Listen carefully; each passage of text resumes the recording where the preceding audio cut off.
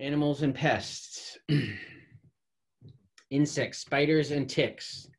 Best way to avoid any bites from in, any insects, spiders, or ticks, or wear long pants, socks, and long sleeve. Use insect repellent containing DEET. Treat bites and stings with over-the-counter products. Be aware of all venomous and dangerous animals, including fire ants or black widows. Nothing that we have to think of here. Avoid fire ants when they finally get up here. Um, there are such, you know, fire ants and black widows. It just continues. They are dangerous. Any allergies or med medical conditions that require use of an EpiPen in an event of an insect sting or others should be noted by fellow workers. I always have one in the truck. Anytime I have somebody on my team that requires an EpiPen, I have them give me an extra one, so I always have it on me.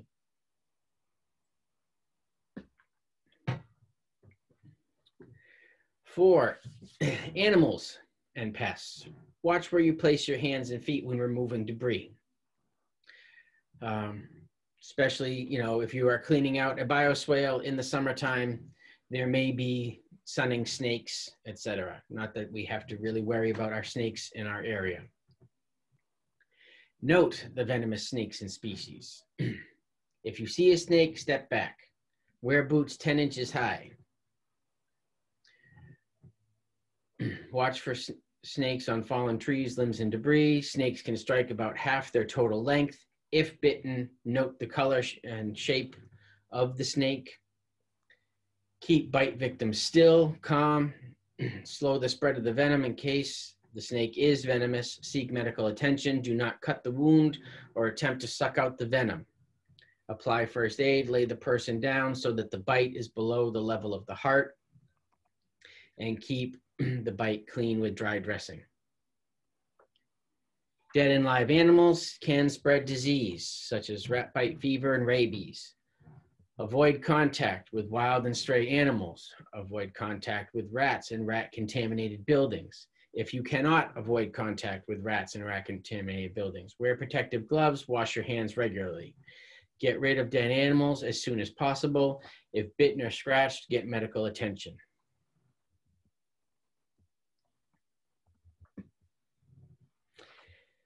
Any questions on animal safety? Okay. Potential hazards. Placing equipment too close or structures too close that could uh, threaten the integrity, um, buildings, infrastructures, vibration, weather conditions, all of which can change the uh, conditions of a trench. Piling soil and equipment too close to a trench can cause a collapse. One cubic yard of soil can weigh as much or more than a car. Two workers killed every month in trench collapse. Divert water away from open trenches and expect trench walls. This just, you know, in light of recent news and everything, this is something that often, I guess, gets overlooked. Water erodes and changes the soil conditions over time. Protects, protection systems must be used when excavating. Excavation is more than a four foot depth. Cave-in protection is required when excavations are made is not required when they're made entirely in stable rock.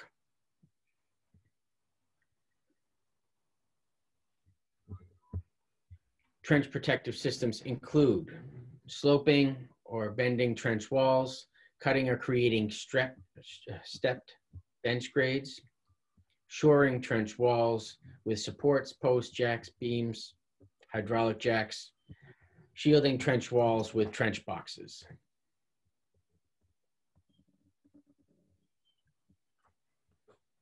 All excavated material needs to be placed at least two feet from the edge of the trench. That is probably the number one violation I see all the time.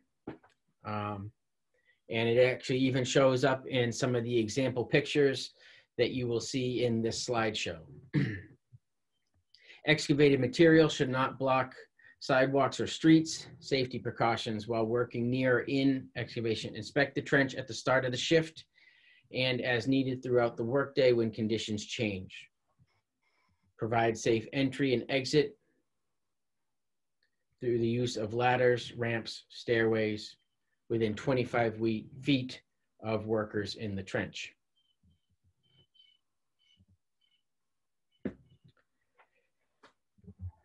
Heat stress, types of heat stress, heat exhaustion or heat stroke. Risk factors, high temperatures, humidity, direct sun exposure, no breeze or wind, low liquid intake, heavy physical labor, waterproof clothing, no recent exposure to hot workplaces. Symptoms of heat exhaustion are headache, dizziness or fainting, weakness, wet skin, irritability or confusion, thirst, nausea or vomiting. Symptoms of heat stroke, confusion, inability to think clearly, passing out, collapsing, having a seizure, sweating stops. How to protect yourself from heat stress. Know the signs and the symptoms. Monitor, monitor yourself. Use a buddy system. Block out direct sun and other heat sources. Drink plenty of fluids. Drink often. And before you think you are thirsty, drink water every 15 minutes. Avoid beverages containing alcohol or caffeine. Drink beverages that replace electrolytes. Wear lightweight, light colored, loose fitting clothing. Cold stress.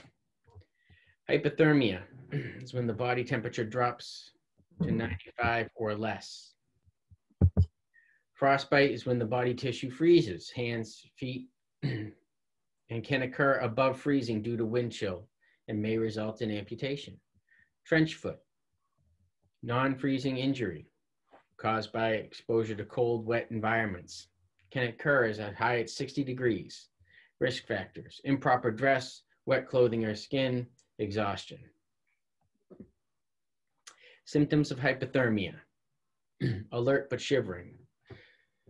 Moderate symptoms, you stop shivering, confusion, slurred speech, heart rate and breathing slows, loss of consciousness or death. Symptoms of frostbite, numbness, red skin, develops white patches, feels firm and hard, may blister. Symptoms of trench foot, redness, swelling, numbness, blisters. How to protect yourself from cold stress. Know the symptoms. Monitor yourself from cold workers. Drink warm liquids, but not alcohol. Dress properly. Layers of loose fitting, insulating clothing. Insulated jackets, gloves, hats. Waterproof if necessary. Insulated waterproof boots. Does anybody have any questions about safety? No? Okay. One of these days. Well, actually, we did. Joe get Joe hit us up with one question. This was the the first time I ever had a question during safety. So, Joe, thank you. I appreciate that, and I feel bad that I did not have the perfect answer for you, but I appreciate getting the perfect answer.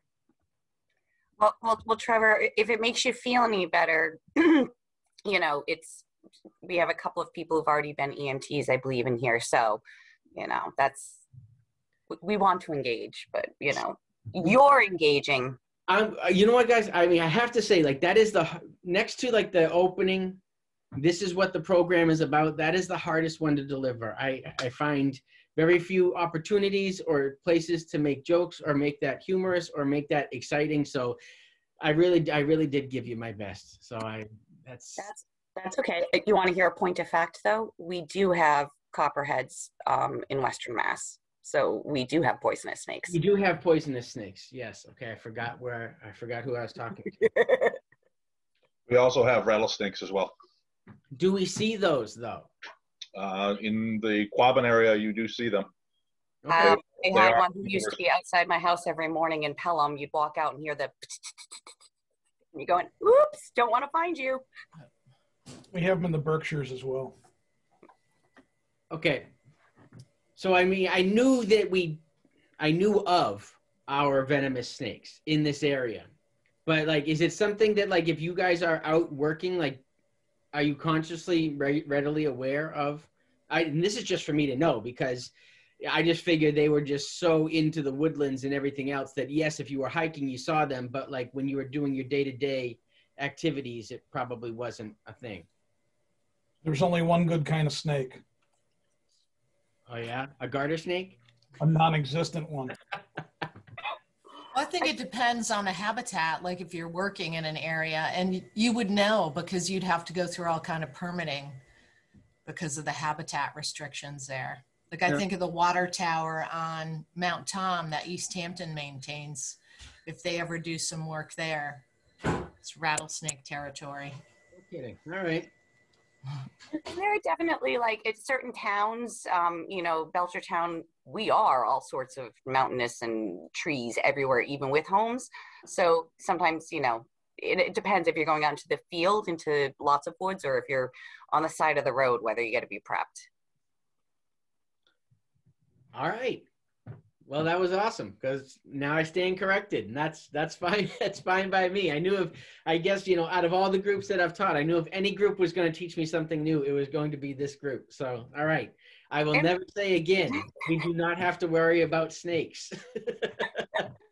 But I figured, you know, you know, we're listening, we're engaging, you know, like because you poor thing, you're up there all by yourself. So no, no, it's it's definitely all good, and I, like I said, I I appreciate that because you know, like I said, while I know of their existence, I really did not think that we ever had to take into consideration when I was giving this talk down in Austin. Hell yeah, that was like a thing. We talked about. I got a whole schooling on fire ants and and all everything under the sun. So I just I never I've never felt threatened up here.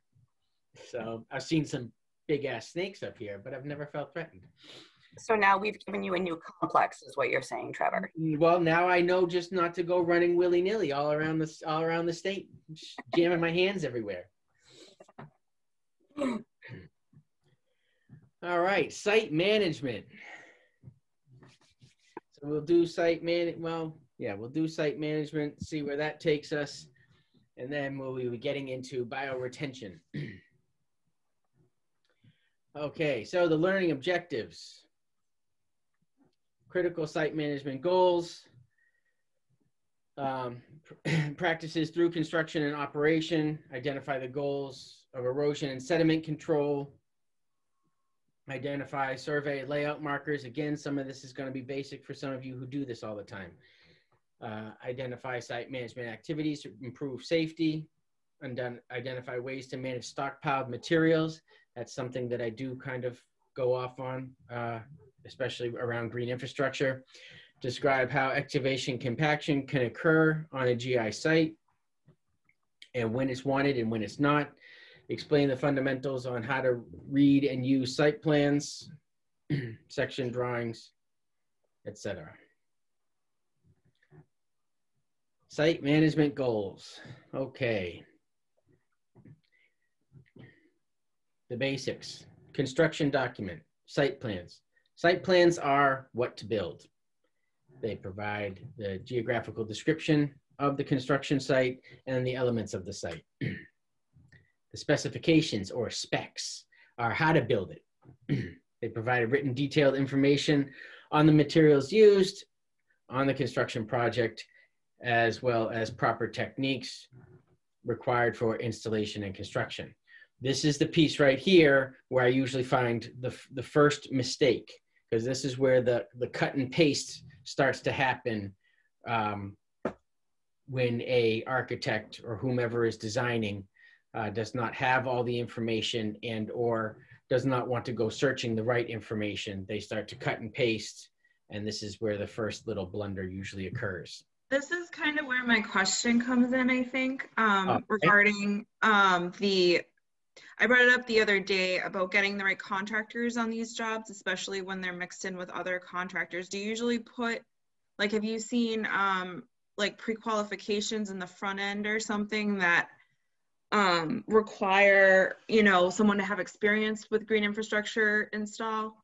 Um, I know, I know now. I've I've seen now, and I know now that there are RFPs going out requiring this certification. That there are RFPs going out, um, you know, that that that are going out requiring, you know, some sort of knowledge or um, proof of understanding of of these of these practices and and of these ideas. Yeah, because I just see a lot like, I mean, maybe we do a couple of green infrastructure, straight green infrastructure projects, but I, I see a lot of these projects being part of a larger project, like a street project where like we're doing pipe install and like you said, people doing pipe install or road work, regrading, all that have a different skill set. And um, just trying to work that into the bid so we're not just getting uh, uh, someone who installs water pipes and you know replaces the road you know that they maybe have a subcontractor on their group that does the green infrastructure like just trying to formulate the bids correctly so we're getting the right people installing these these systems No, absolutely. So that's where, when I'm not doing this, if I if I'm not doing this and I'm not consulting, that's where uh, up until this, really, the majority of my business was. That's what I did. So, and it was usually around permeable, permeable and porous pavement. So, a contractor would be hired to, for instance, I'm I'm bidding a job in Salem right now that has a few thousand square feet of pervious pavement to be installed. So the contractor calls me, says, give me a bid on this. Um, another one in Melrose, it's a park, same kind of thing. Porous pavement going in. They said, hey, we're installing this, this new park. You know, we'll take care of all the grading. We'll take care of all the, you know, all the planting and the site prep, et cetera. Can you just come in and do the pervious pavement part? So, I think for us, uh, I'm just seeing like, cause we just, like I said, we go by bids and then like, unless they're not qualified, it basically goes to the lowest bidder. So it's like directing the people to people like you or other contractors that, that specialize in it that I think that I just have to get my head around how to put that in the specs and make sure that happens. Well, and that's the that's the hardest part. And I've actually been working. It's one of the things I'm talking about the EPA with. I've also talked with the um, the MVP program when they're when they're give when they're putting out when they're putting out their bids. Because here's the thing: like government, EPA, or, and the MVP, the people who handle the grants, they can't say, "Hey, call Trevor Smith."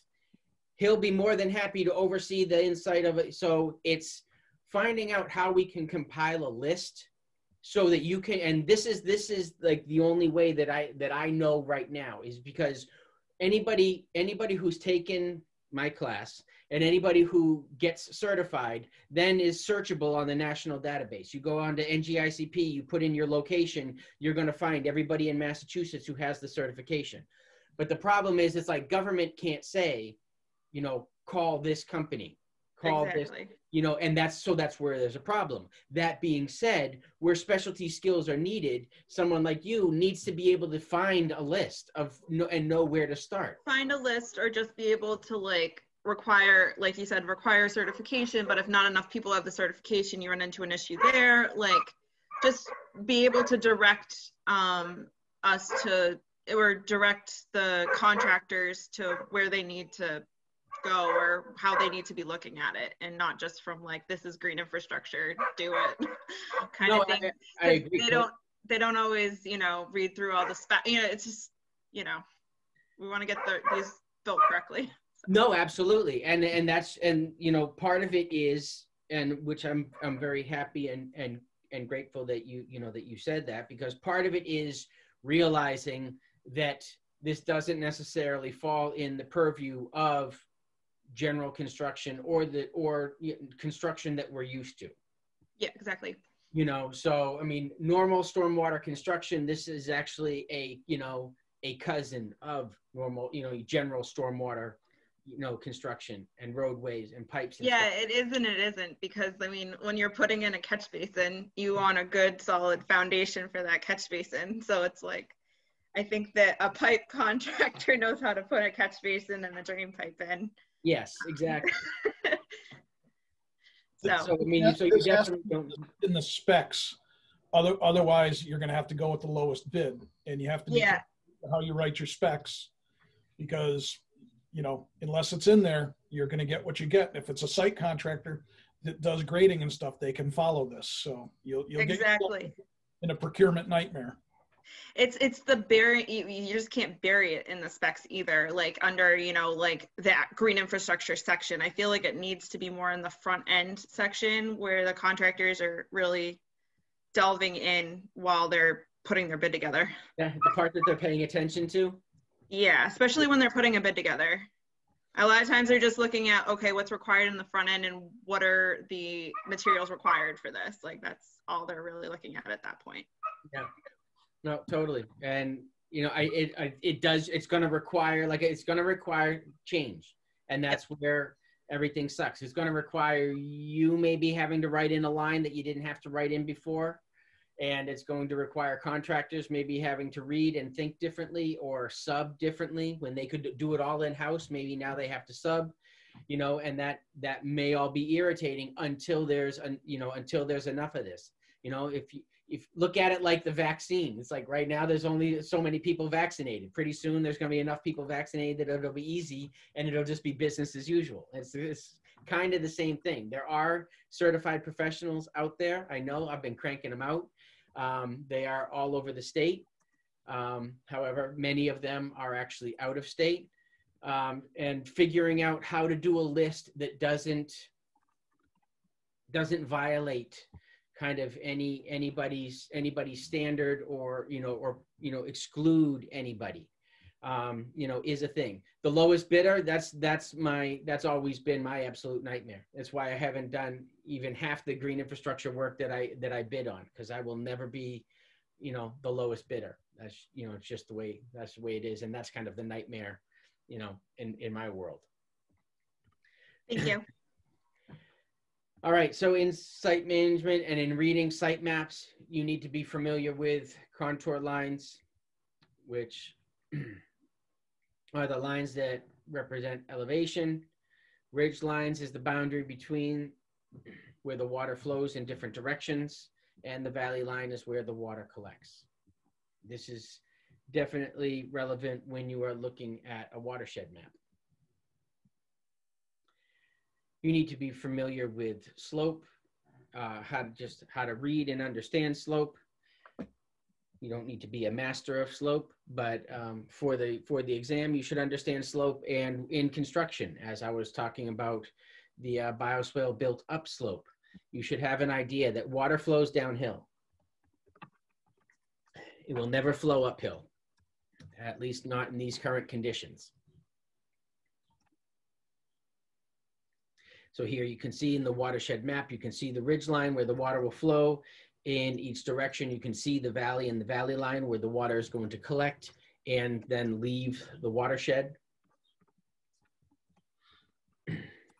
And as you were just talking about, Patty, you know, it's to me, it's just always what one of the things that brings water together is having to think about the Long Island Sound. You know, we feel like we're very far away from that and so when you have to like consider that you know consider that that's just kind of shows how land works how water works and how we really have to all come together and we can't think in our little silos and in our municipalities because our municipalities are only what they are our towns are only what they are because we said so. And in reality they're a part of a much bigger picture and we have to think about that bigger picture when we do things within our municipalities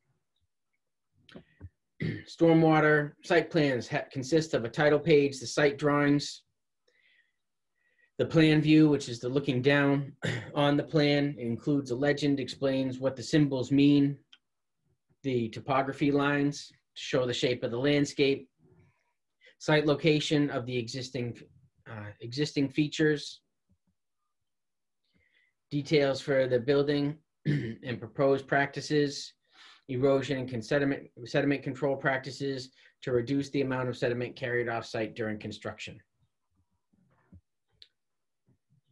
Stormwater site plans also consist of a cross section, a view of critical elements as seen if you cut across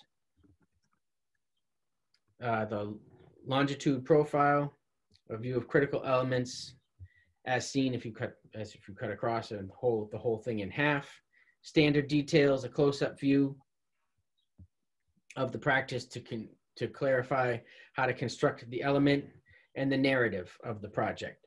Again, this is where some of the cut and paste comes in, um, and things don't necessarily line up. You'll see, uh, you know, you'll see a cutaway, or you'll see a description that doesn't necessarily match exactly what the overall description or is being what's being attempted uh, in in the practice itself, and then it becomes very obvious that somebody what didn't do their their homework or their editing, and they just did a copy and paste just to fill the page and to get it in there.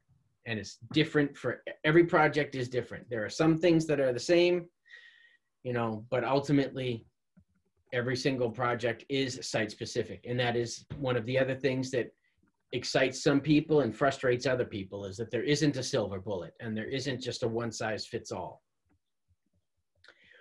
Four, green infrastructure. You want to use the smallest equipment possible, which if you're looking at budgets, that's great because you don't want to have big equipment and you don't want to have to buy big equipment. You want to use the, the smallest equipment possible. However, sometimes large equipment is needed. For larger projects, you need larger equipment.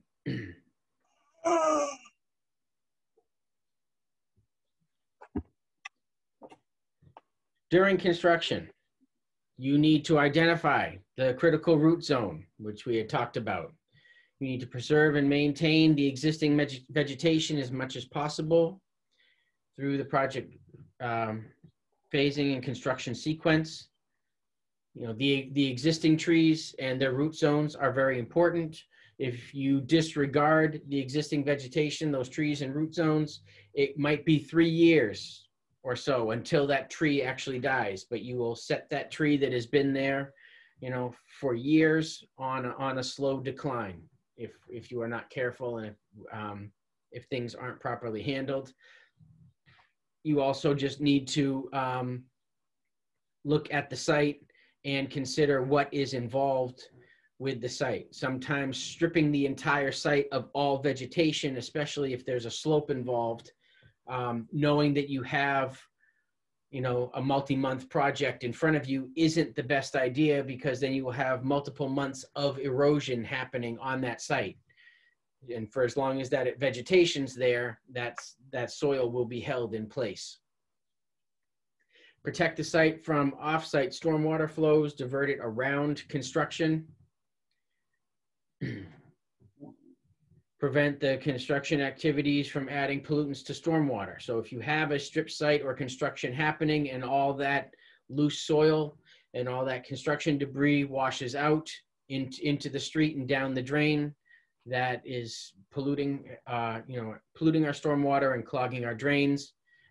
Uh, again, if you, you know, if you strip the site or if you change, if you are changing the topography, make sure you understand how you are then changing the way water runs across the site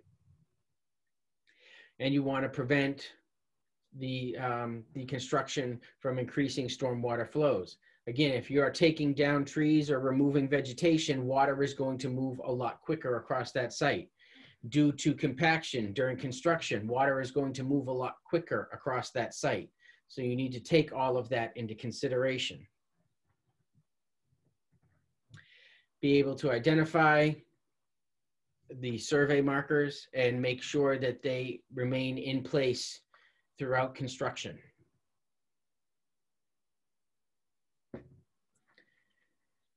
Identifying and locating utilities in the field can be a challenge. So just assume that you are going to bump into utilities or have to deal with utilities and uh, proceed with caution, but know that that is a thing.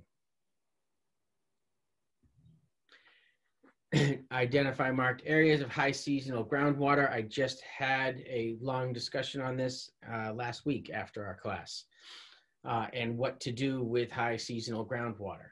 Sometimes this will change what type of green infrastructure you are putting in. Sometimes, you know, high seasonal groundwater may eliminate a certain option as far as when we're looking for, I'd like to put this in or I'd like to do these things sometimes those are eliminated in high groundwater uh, areas. Or we have to change the overall size of our bioretention facility or whatever to accommodate for uh, high groundwater. Manage the site to protect construction materials prior to installation, prevent soil from washing downstream into a stone pile. This is one of the biggest things. This is a thing that I'm a stickler on.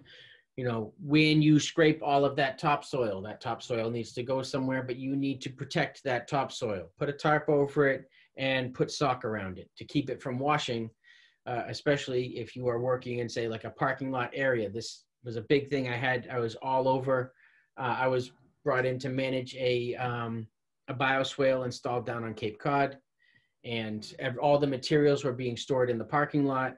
But as it rained, you know, unprotected materials were just contaminating other materials as they just kind of flowed around the parking lot. So everything needs to be tarped and throw some sock around it to keep it from contaminating the other pieces. Also, it is important to, you know, logistically to bring the materials in when you need them. If you are working on a project, say it's, you know, say you're building a bioswale, you know, at the school. Well, if you are doing that, then there is, you may not need, if you do not need your, um, your constructed bioswale media until, you know, week six, don't bring it in on week two because then you have all of that time for it to get contaminated with weed seeds, for it to erode, for something, you know, for something to happen. If you are bringing in stone and you have your topsoil or whichever, and you're bringing in your stone, but you don't need to bring in all of your other materials and have that around it. Wait until, you know, process each one if you can and try to just time your logistics to bring the materials in as you need it so you don't have a massive stockpile of things because when you do, you run the risk of contaminating them. And things like gravel, if you want, you know, um, you want your GI system to be successful, you need to make sure that that gravel comes in clean and then that gravel remains clean for the, you know, for the extent of installation until it's in there. And so it's in there and you want to be clean while it's in there. Uh, you don't want it to, you don't want to put, you know, all your gravel in and then have a rain event and then all the topsoil washes in, you know, to the gravel that you just placed. So it's, it's important. This too aggravates certain contractors because you have to be more thoughtful on the construction site. Uh, it's no deal. I, I think once it, once it becomes practice, then it's fine.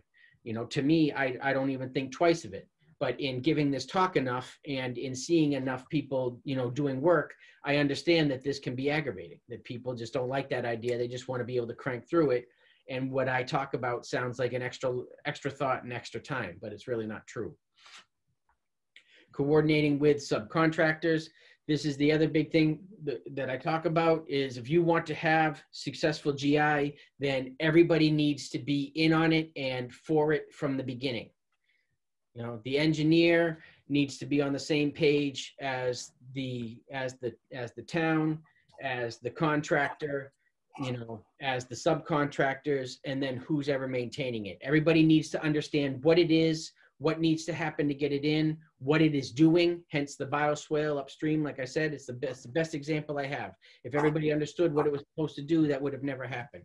So everybody needs to understand what it is, what it's doing, what it needs to work. Again, I've seen permeable pavements that are just managed with sand so they become impervious surfaces within one winter. So everybody needs to know that things need to change. Everybody needs to be on the same page and just understand from the beginning. The, um, you know, another example, there is a boat dock that was removed during construction in Dedham, right along the, right along the river. It was a, um, uh, it was a it was a gravel and pavered area.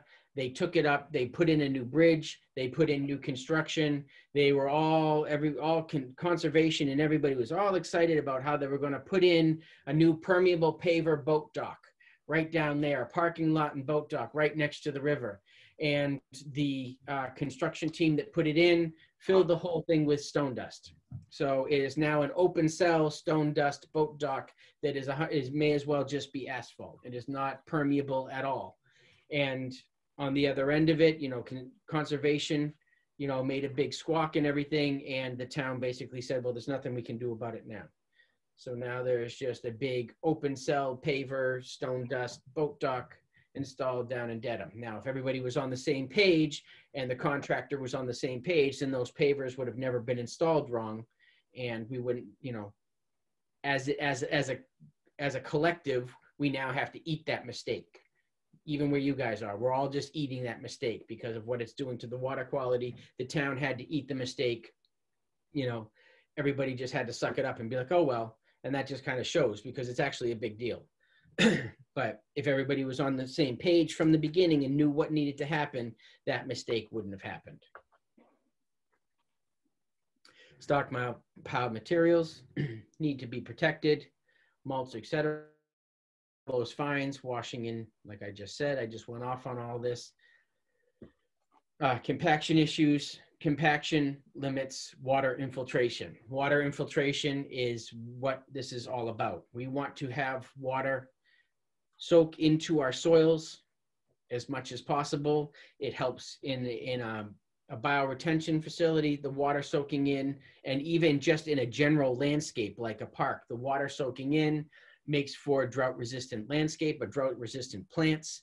It makes, it reduces the flooding etc. So if we have wide open green space and park space, if we better manage all of that, those grassy areas and all that wide open space so that it can absorb the maximum amount of water and infiltrate that water, we will have healthier grass, we will have healthier trees, and we will absorb more water and there will be a whole lot less runoff. So for instance, you know, things that I do when I am working on, on a site, I plan out where my heavy equipment's going to go and where everybody's going to be going, and that's where they go. I don't have bobcats and excavators driving wherever they feel like all over the site. I plan on where that's going. So I minimize compaction. I then put down boards or track mats and say, okay, you're driving on this, you're walking on this, all the wheelbarrows are going on this, they're going over the track mats. At the end of construction, when that's all done, if it's over a grassy surface, say, I'm going to take all that up and then I aerate and compost the entire area. So I aerate that whole lawn area and then I rake in or use a compost spreader and then I spread like a quarter inch of compost on that and make sure that's all raked in. That way I am kind of opening up the soil with the aeration, allowing water and oxygen to go down back in because the track mats, there is still compaction. So I allow the, the oxygen and the water to go back down in there. And then the soil life uh, is, is boosted and is also further opened up with the addition of a thin layer of compost that makes its way down into those holes. Uh, it helps to rejuvenate some of the soil life and open up the pores that were there. I mean, I also go to different extremes and I spray down the area um, with a, a compost tea blend that I use to help boost the soil life, um, to kind of cause a, a feeding frenzy. It's a it's a compost tea, and I add blackstrap molasses to it. I know you guys aren't going to do this, but it's just fun to talk about, I guess. Uh, and what happens is the sugar that you know the sugar from the blackstrap molasses that is mixed into the tea feeds all the bacteria and all the fungi in the soil and then everything that feeds on that starts coming and there's a giant feeding frenzy which kind of opens up the soil. And then once all those sugars and all those carbohydrates and everything are used up and die down then there's all this extra carbon and all this extra space because as the bigger things come to eat the smaller things they're opening up that soil. So it's something that i do um, just to kind of um, fast forward the process and open up the soil. But just a simple aeration is great. An aerate and a compost uh, is is also just excellent because it just helps the soil on its way uh, better than if you just pick up the mats and leave. Trevor, to what depth does aeration work? Are there different? Yeah, I mean, I've done it in my yard, but it, you know, was just a few inches. Are there different fine. machines? That's fine. There are different machines that go a lot lower, um, and those you're usually getting kind of into farming equipment, deep tine aeration. Uh, you don't need to. I don't think you need to do that. I mean, that's great, but most every landscape or construction crew usually has an aerator. It's not that hard. To, they're not too too expensive, and they're not that hard to get your hands on. So I just think like just those even those few inches starts the process. It opens it up, lets air and water get in there because you've compacted that. Even with the mats, you've compacted that down. Um, so if you can just kind of do something as you know as a as a nod to decompaction, I think every little bit helps. Even if it's a little bit, you know, two inch core aeration, you know, that's that's something. And then, like I said, if you use a compost spreader or just rake a little compost into that, you'll definitely boost that area.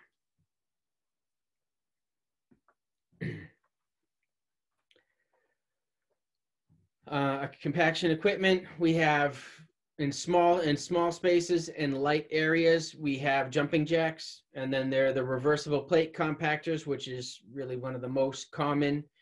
And then we have forward plates and vibratory rollers and static rollers. You get into the vibratory rollers and the static rollers more for like a, a permeable pavement application um, but more often than not just the reversible plate compactors when you're just doing a light compaction on soil um, or for also many permeable applications.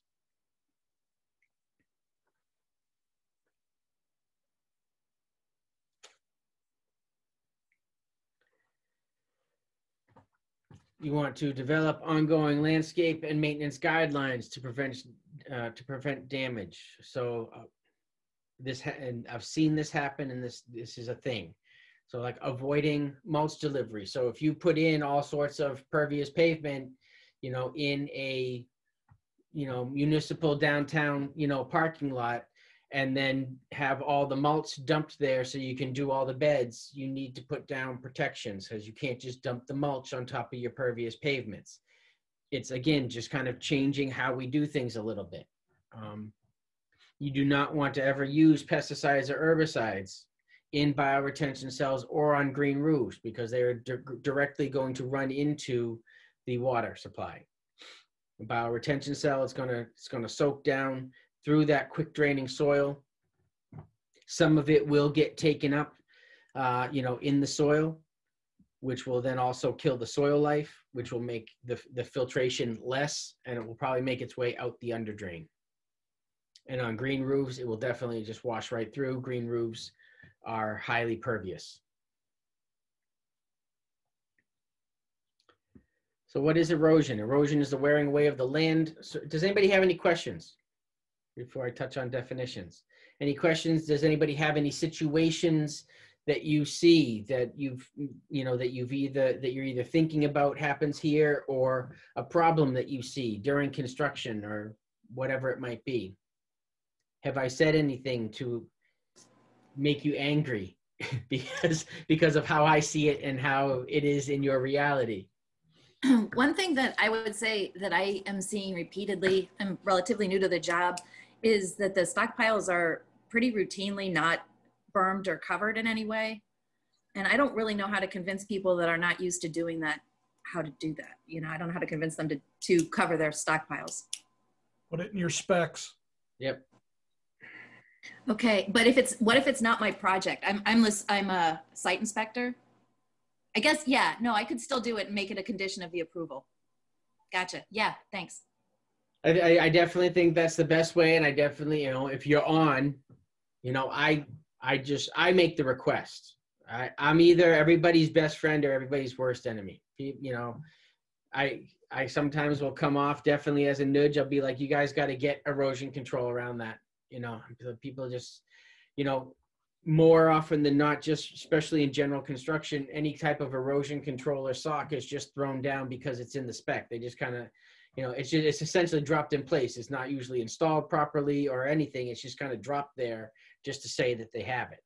So, um, you know, sometimes I can come off, you know, at, as a nudge and in the beginning, I'm not going to lie, like I hated it and I never wanted to speak up. And then I just kind of figured that if we're going to start changing the way things are done, um, somebody has to say something. So I started saying something. And in some cases, especially like when it comes to my personal suppliers, you know, what irritated them in the beginning, now I get perfect stone deliveries and perfect compost deliveries all the time because they know exactly what I want and they know that I'm not going to put up with it otherwise but yeah, Heather, it really comes down to, um, you know, putting it in the specs, just making it known from the beginning. Again, try to get everybody, you know, on on that page from the beginning if you can, um, or you know, make it known that that's that that's what you're looking for.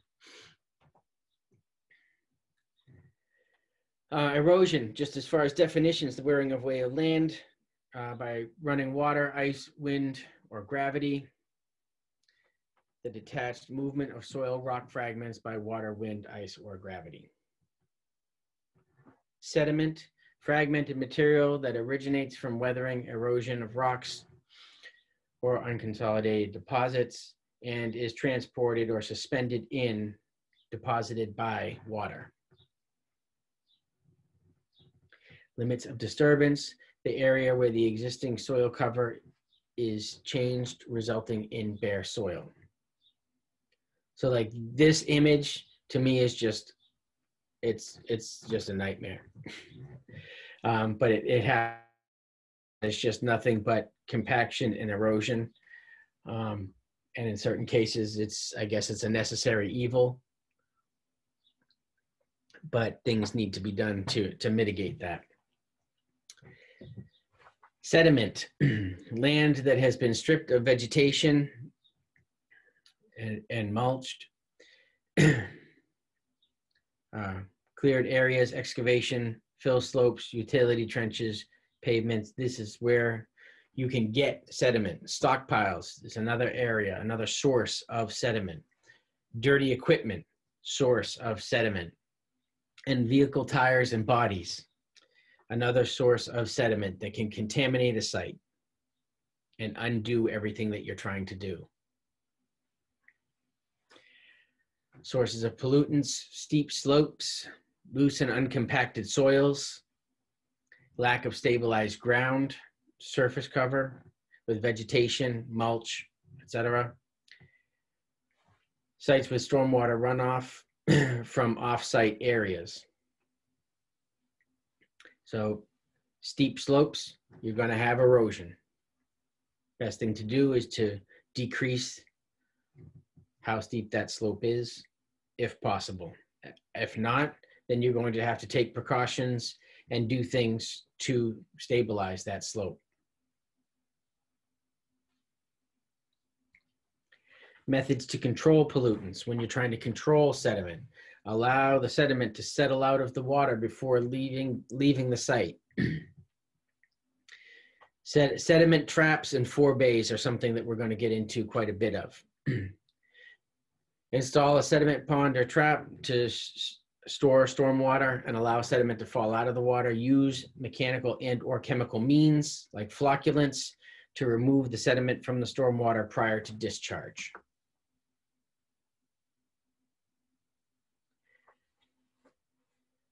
Preserve existing vegeta- vegetation through site design, construction sequencing, and phasing of the project, which we were talking about earlier.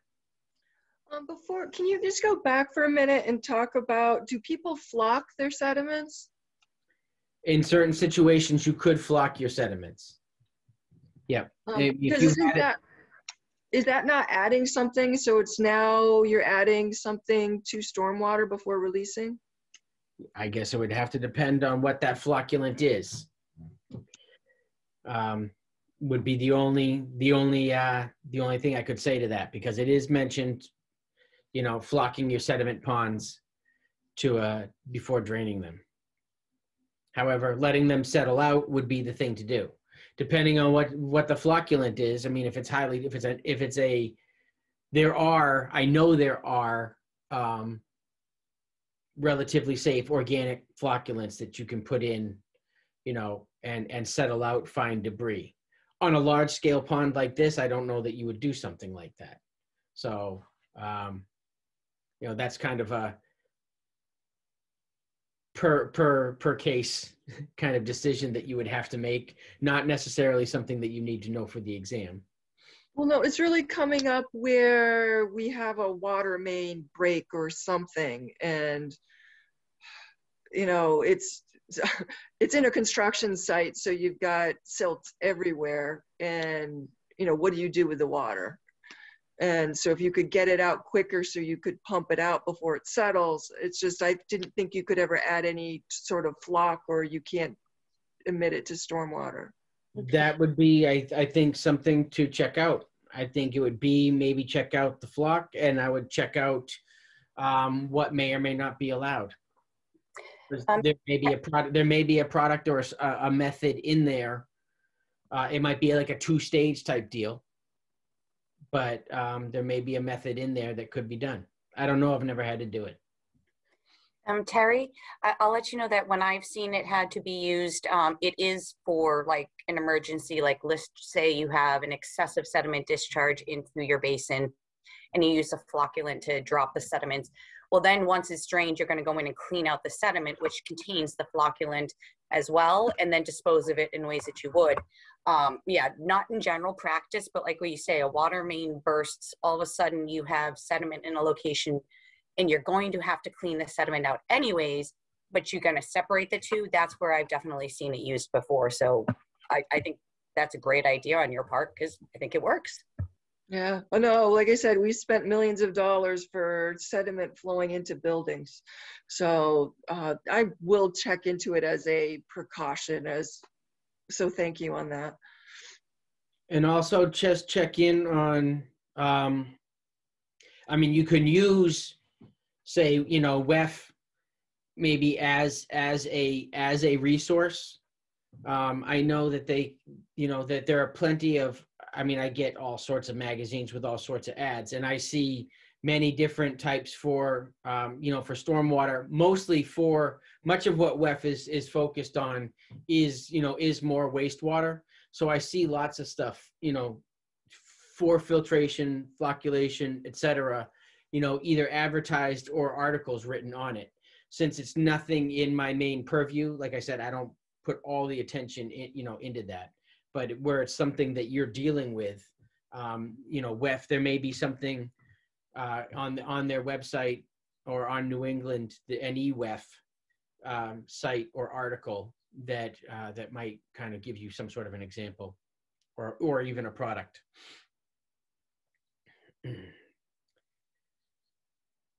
um, cover stockpiles, install stabilized construction entrances and haul paths for vehicles and equipment, install perimeter controls, silt fencing, wattles, berms as a layer of protection for stormwater. Prevent the erosion on site and downstream by controlling flow, flow rates of stormwater. Be careful, like just be aware of what your construction is doing to, to the flow rates on the site. So silt fence, wattles, and vegetation. A silt fence is a temporary sediment control device used to protect water quality in nearby water bodies from sediment and stormwater runoff. Silt fences and wattles are great, like I said, when they're installed properly. Wattles are logs or erosion sediment control devices used to minimize erosion on construction sites made of compost, coir, straw, or mulch. Wattles remove sediment and allow clean water to pass through. A vegetated berm decreases the erosion, removes the pollutants from the stormwater. Now, something that you may or may not consider, I don't know if it's something that is ever even on your radar, but wattles and vegetated berms are really the only two that do not disrupt wildlife in the long term. So if you are doing, say you are installing wattles or silt fences now for a project in March or early April, you are going to absolutely disrupt uh, reptile and amphibian migration in the spring, which will usually happen mid to late April into May. So you so wattles, turtles can climb over wattles, um, as as well as a vegetated berm. But silt fences can get right in the way, and you can really disrupt the migration and um, uh, breeding patterns of reptiles and amphibians. So it's just something to take into control because you're looking at it as a pollutant control method, but it, it really can also be a, uh, a liability when it comes to wildlife. Not sure if people were aware of that. Uh, methods for control, inlet protection, stabilize entrances and wheel washes. Inlet protection prevents sediments from disturbed areas by entering the city's water system through storm sewer grates and storm inlets.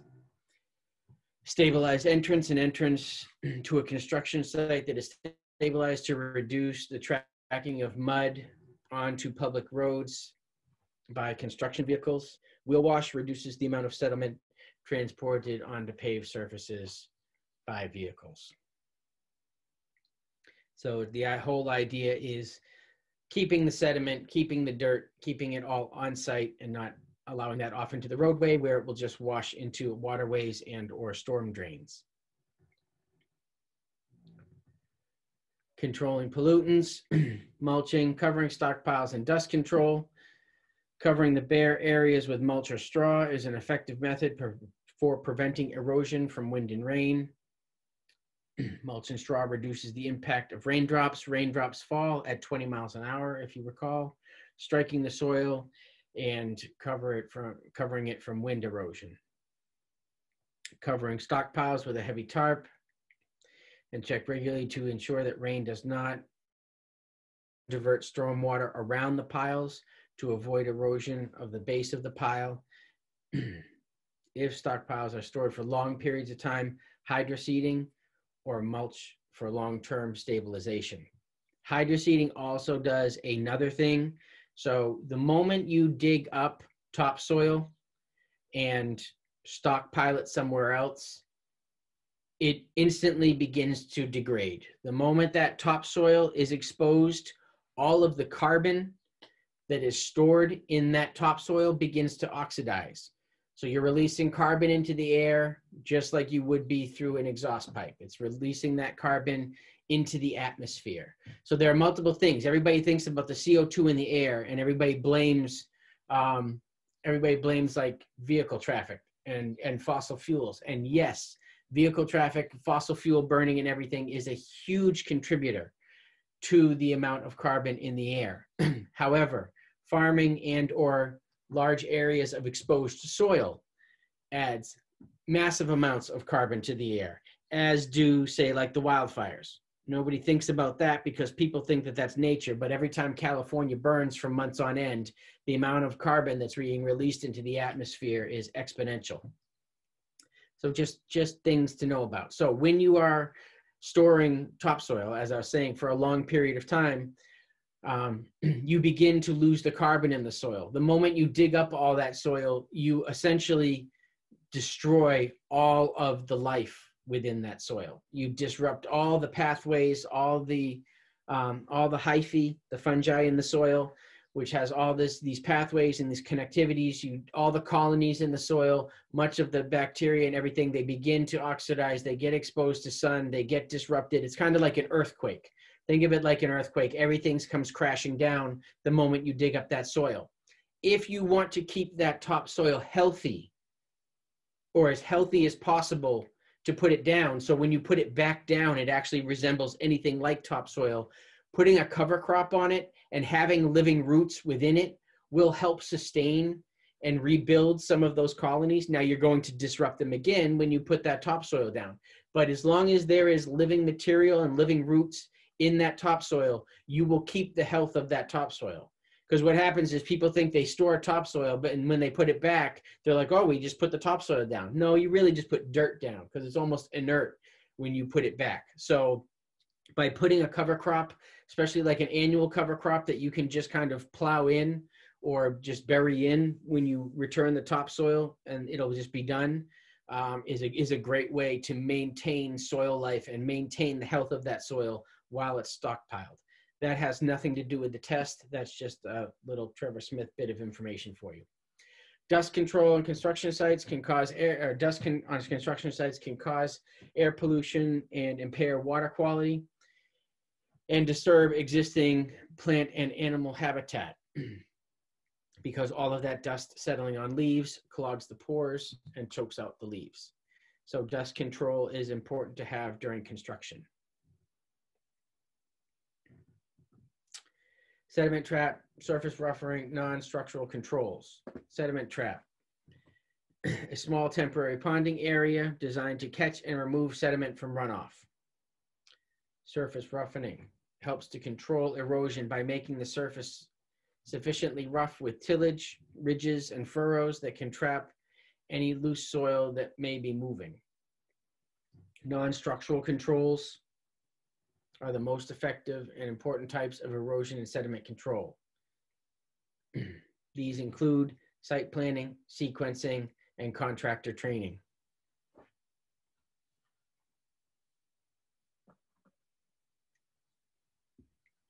So this is something that you're all familiar with, the Clean Water Act. I'm pretty sure I don't need to really go over much of that with this uh, this crew.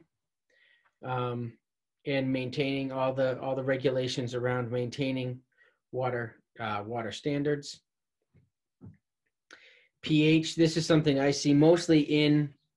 I see it mostly in residential construction, but the discharge of of concrete um, in cleaning the equipment, etc., in improper ways into the street, into the storm drain, um, is is something that is just common practice, but is detrimental to our water quality.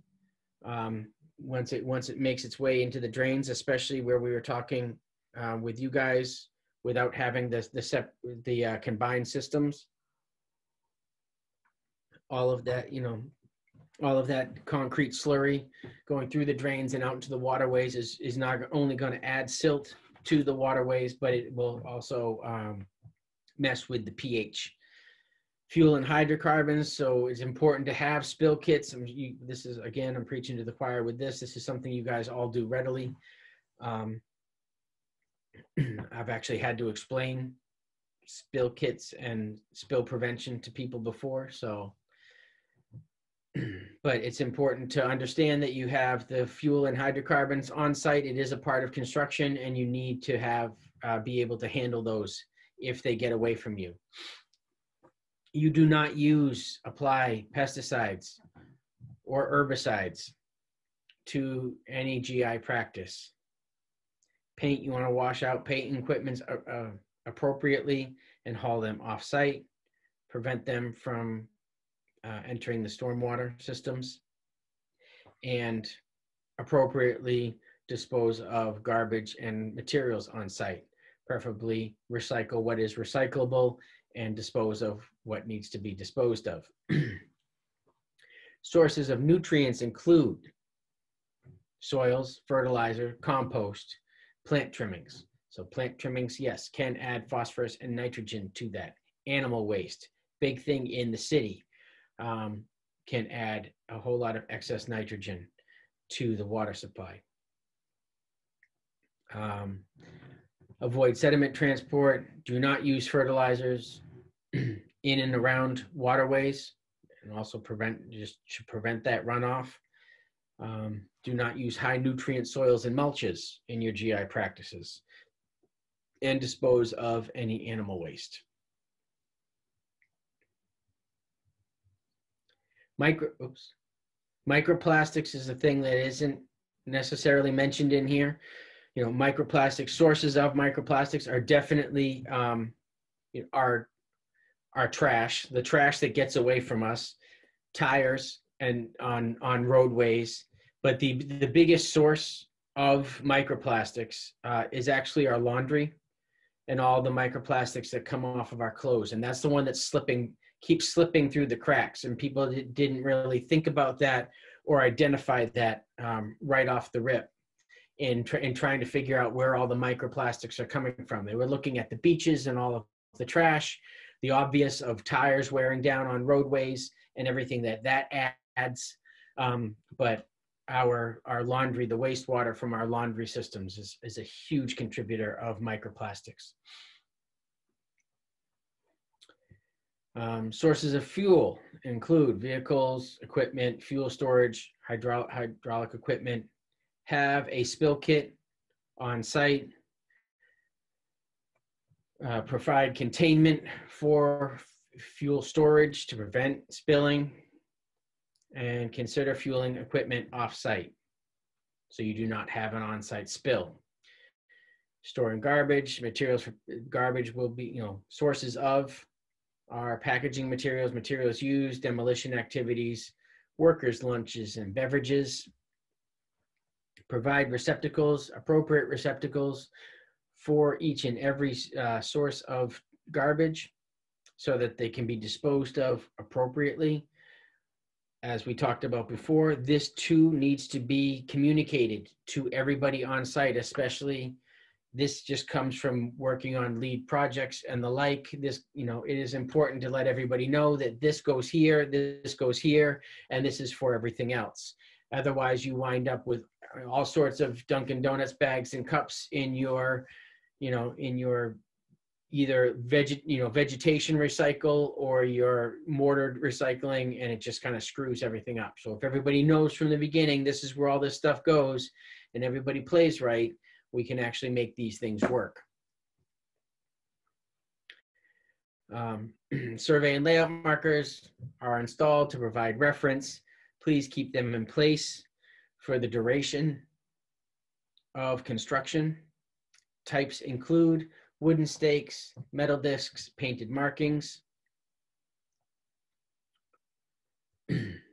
These will also include all of the dig safe colors marking the utilities.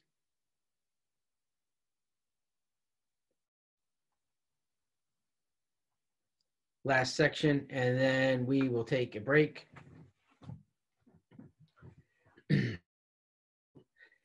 Safety on the, uh, safety during construction and maintenance. Call dig safe before you dig. Have a traffic plan in place. Make sure that existing utilities are marked and that everybody knows where they are. Mark the confined spaces and ensure that everybody has the proper training when working around confined spaces. Make sure everybody has the proper PPE. Hold frequent safety meetings to inform workers and coordinate upcoming construction activities. Phase the project to minimize the disturbed area. Make sure you have dust control in, in place. Use trench boxes when needed and divert the stormwater away from trenches. Take precautions for electric shock hazards. 350 electric fatalities a year. Be aware of overhead power lines. Make sure they are de-energized when you are working around them. If they cannot be de-energized, maintain 10 feet of distance from them. If an overhead wire falls across your vehicle, stay in the car and drive away. If the engine stalls, call for help. Use non-conductive or wood fiberglass ladders when working near power lines. And that does this. So, what time is it? Why don't we, um, why don't we take 10? So we'll, uh, we'll come back at quarter of 11 and we will answer any questions and or maybe start the next section and we will go from there. So thank you very much and I will see you at quarter of. Trevor, I have a question regarding the specifications. I hate to keep on these, but I think they're so important Yeah. regarding um, getting the them installed correctly. Um, as far as um, you talked about at the end about um, the phasing plan, um, with the contractors, you always run into like means and methods. Do you have them like? Do you require them to submit you a, a phasing plan as part of the submittal process? Is that how you get around that a little bit, or? Uh, which, I'm sorry, can, like, which, which party, was- I don't always have too much say. So, Exactly, exactly. So do you like have them submit a phasing plan so at least they think it out or something? Is that how you? as far as uh, how the project's going to be executed, You were talking, yeah, you were talking about the compaction, like that kind of, of thing. You do a phasing and all that. that like- kind of thing. Well, oftentimes, like the, the compaction methods that I talked about, Yep. um, those are that those are practices that that I do. Okay. I don't I have not necessarily been able to have others adopt that. That is something that I hope to, you know, through conversation and education. You Yeah. know, I have a group of um, you know, people in front of me who take on this work. It's things that I ask them to add.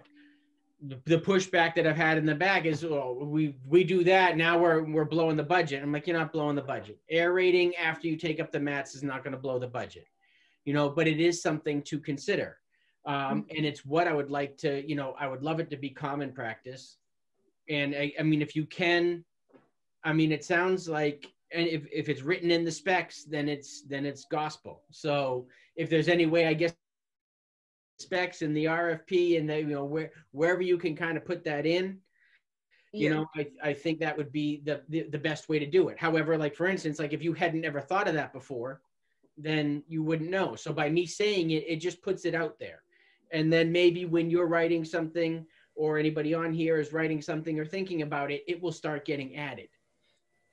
Yeah, I would say, um, Diane, the other place to think about putting it is um, as you go rewriting uh, your stormwater regulations or bylaw, that you could include a phasing plan. I mean, there's a bunch of things, you know, you could even submit in there, you know, we have oftentimes um, engineers licensed in Massachusetts or.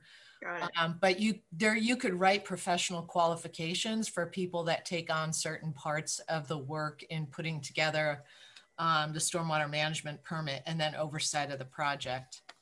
Perfect. Yeah, because I mean, I think the thing with specifications is I always just worry what is the contractor reading, and I think sometimes if you add a submittal, at least it gets them thinking about that kind of stuff.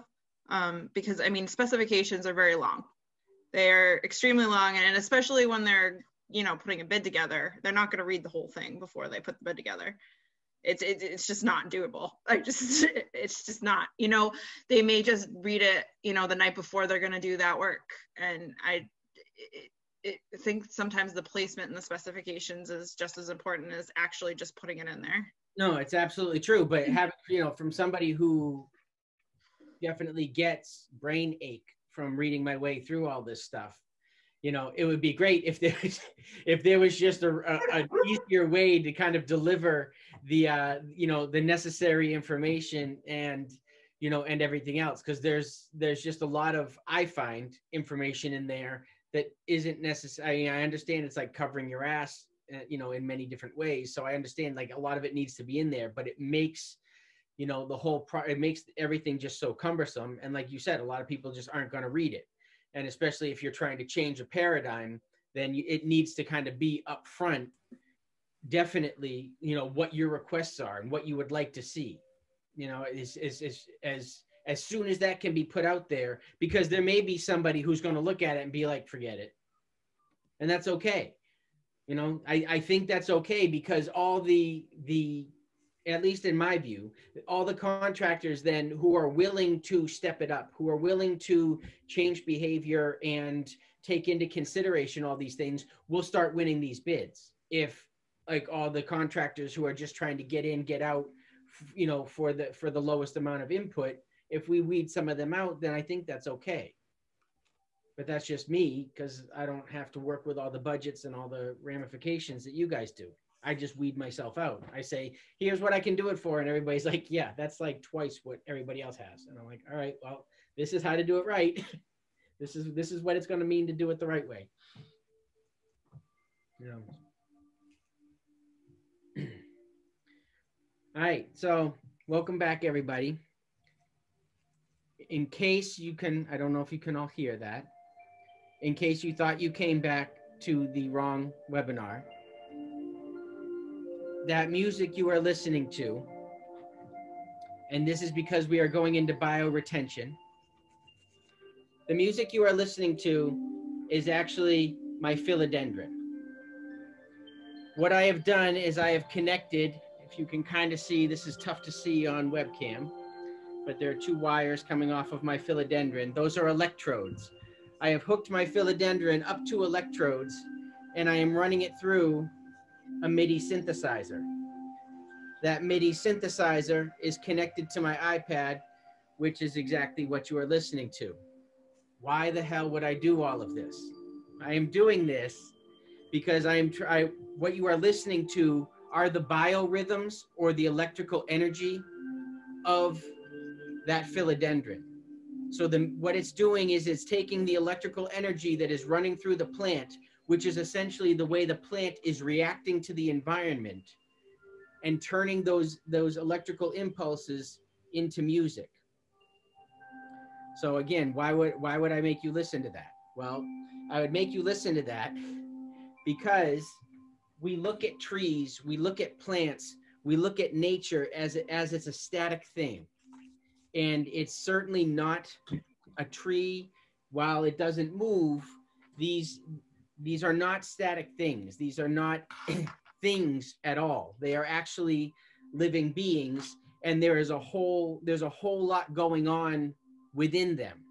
You know, so it's when we are talking about root zones and protecting root zones, and when we, when I talk to you about all this stuff, it's important, and it's important because we don't look at soil like it's a living thing, and we don't even really look at our plant material like it's a living thing. But all that music you heard was my philodendron reacting to how it feels today in my office and how it feels today with me with the vibration of my voice, etc. All of that translated into music is exactly what you what you were hearing. So when you are looking at plants, considering plants and soil and the like, you have to, you know, you just have to know and understand that there's a whole lot going on that we don't see trees especially are very slow deep time beings. You know trees they they breathe. They have essentially what can be considered a heartbeat. They actually when they sleep at night their branches drop. We just don't notice these things because they're very slow and they're very subtle. They actually have contractions you know within them that can resemble say a heartbeat but it happens over the course of hours. So it's just so slow that we don't necessarily notice it. Those of you who really geek out on plant stuff understand about the wood wide web and have probably heard that like trees can communicate with each other and they can communicate with the soil and they communicate with the environment around them. You know, for instance, when a storm is coming, a tree senses that the storm is coming and it starts to send extra sugars down into its root system just in case it gets damaged during that storm so that it has enough energy to begin the repair process on the other end. So, you know, the, the environment around us, the natural world is extremely capable. It's extremely full of life and consciousness. It's just not one that we definitely that we understand and know. We can't really compare it directly to what we know as consciousness and that what we know is life. We move a whole lot faster. Nature is slow. Nature moves very slow, and the faster our world moves, the less we understand how actually involved and complex nature is because it moves at such a slow pace and it's very quiet about it. There's no virtual signaling, you know, trees not like I offset a whole ton of carbon today. Like, you know, it doesn't put that on Facebook like everybody else would. You know, there's none of that going on. It just does it, it does its job and it's quiet about it. So I mean it's it's a really big um, you know, it's it's a it's a really big deal. And it's just that's the best way that um, I can I can show that example. Also, once I started studying things like that, I never really looked at nature the same you know i once once i've actually heard a number of plants and trees and the kind of music and the things that they make now it's like i can be outside and i can be walking and i'm just aware that there's a whole biorhythm and electrical energy coursing through that plant that's not necessarily music at the time that i'm walking through it but there's a lot going on and i'm just aware now so much more of all the complexities all the stuff in nature that i just don't see and necessarily understand. So I just wanted to share all that with you. a brief little interlude, maybe mellow you out just a little bit if you were feeling a little anxious this morning. Um, what we will do is we will go through um, the bioretention and for the next for the next bit. Um, we will stop for lunch at whatever the next logical uh, breaking point, breaking off point comes here. Um, and then we will continue uh, after lunch, finish this out, but this will probably be the last one for the day. I'm hoping that from here on out, there's maybe some more interaction and some more questions because we're flying through all this content um, extremely fast. Um, this is definitely the quickest class I've ever taught. So um, I'd like to have a little kind of back and forth uh, if possible but I will jump into bioretention, which is probably out of all of these, probably my favorite to teach. So we'll have fun here.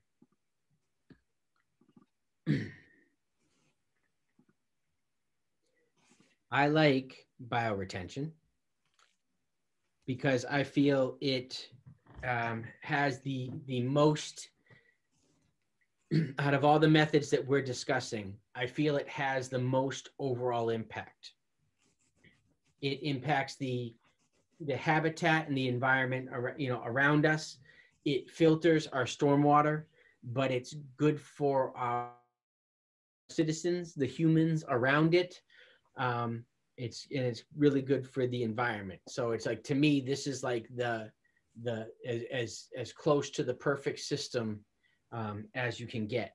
You know, it will filter heavy metals, it will filter plastics, it will filter hydrocarbons.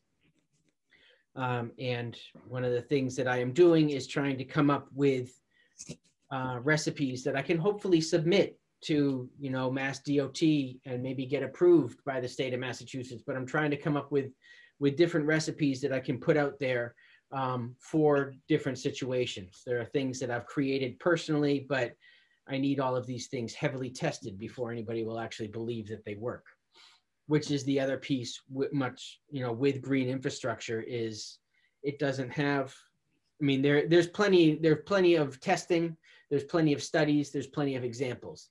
Uh, I find that people always want one more test, one more study, one more example, and then they want to have a meeting discussing that study and then a meeting discussing that meeting. And that's not getting GI in the ground. And at this current rate, you know, there are there are plenty of of deadlines kind of looming over us. Like we have about 50 to 60 years of topsoil left um, before it is before it is all gone and farming becomes you know near impossible. Now we can say well, we won't be here in 50 years or 60 years, or what difference does it make? Some of us will. Um, and it does make a difference. so these are things that are important to me. But let's just get on with this and I'll get off my soapbox. So we are going to talk about bioretention cells and swales, rain gardens, vegetated curb extensions, um, bioretention planters, and tree trenches. If you wait about 15 minutes, you might be able to catch them at the shop we are going to identify the potential safety hazards and the PPE required for dealing with um, bioswales. If you guys could all just throw yourselves on mute if you unless you have a question. Um, we need to read and comprehend basic engineering plans for this, recognize how to manage uh, utilities and other things around bioretention, understand the significance and identify the procedures for stormwater management during construction, recognize the significance of proper storage and handling of materials, and understand how to inspect and maintain. So from here on out, every single thing is basically going to be the same. It's going to be how is this constructed?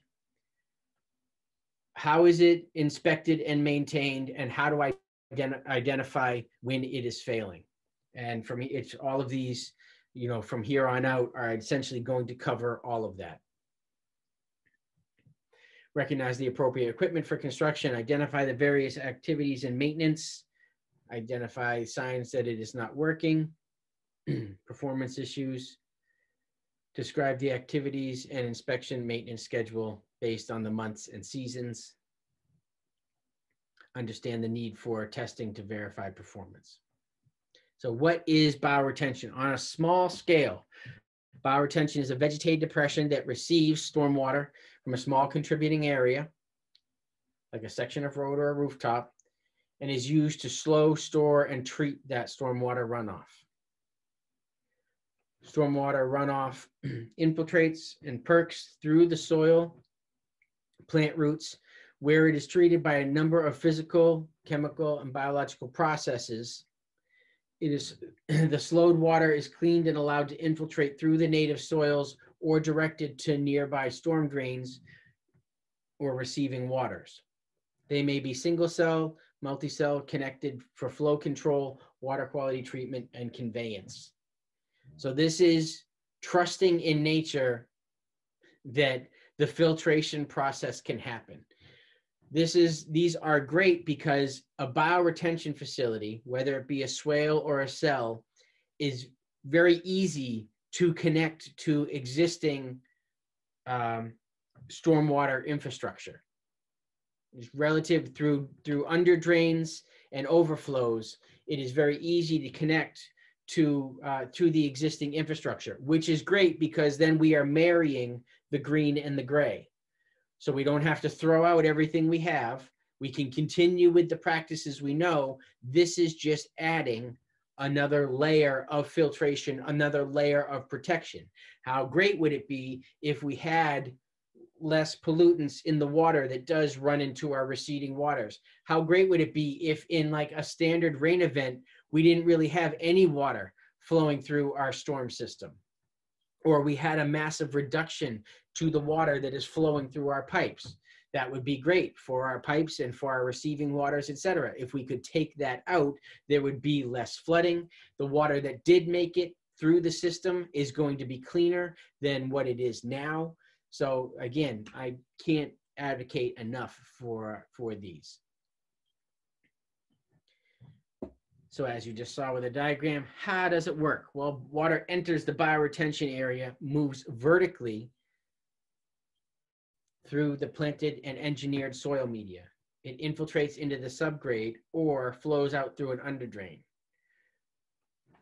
Overflows through a controlled outlet into larger into larger storm drains.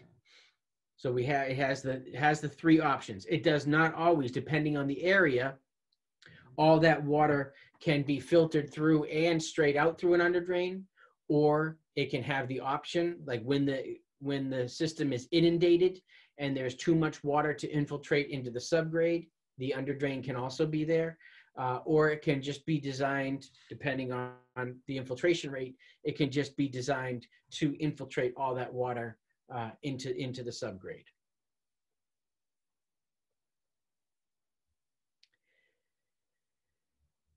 It can provide flow control and volume control.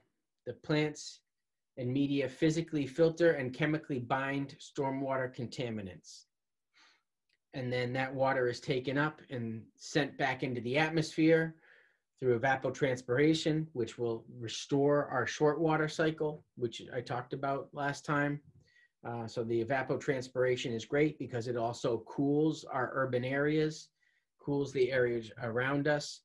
Uh, we can restore our groundwater, which is key restoring the groundwater is key to make sure that we have water for us to drink, but it is also key to make sure that all of our plants uh, in our surrounding areas and all of the wildlife in our surrounding areas that, that there is water there. We want to, we need to make sure that we have adequate groundwater available. but again, the, the, the most direct correlation is the fact that it's going to reduce the um, the velocity of the flows and it's going to reduce the volume of water that is making it into into our system.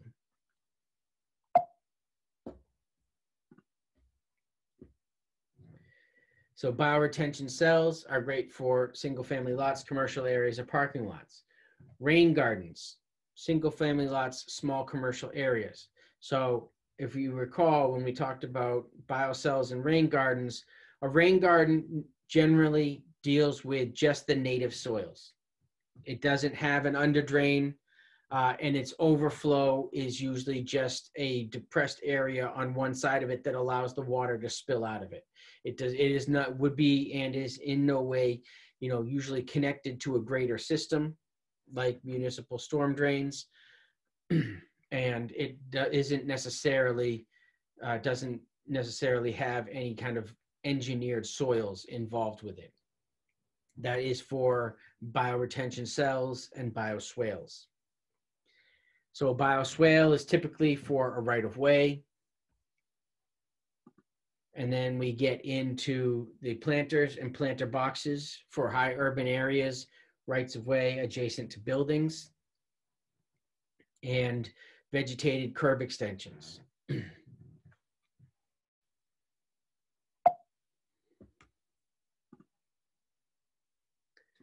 So a bioretention cell is a shallow vegetated depression with gently sloping sides. It can be designed as an individual, you know, receiving from multiple areas, and it can be de designed as an individual area just to receive, or it can be part of a conveyance system, which would be a bioswale. it contains a engineered soil media.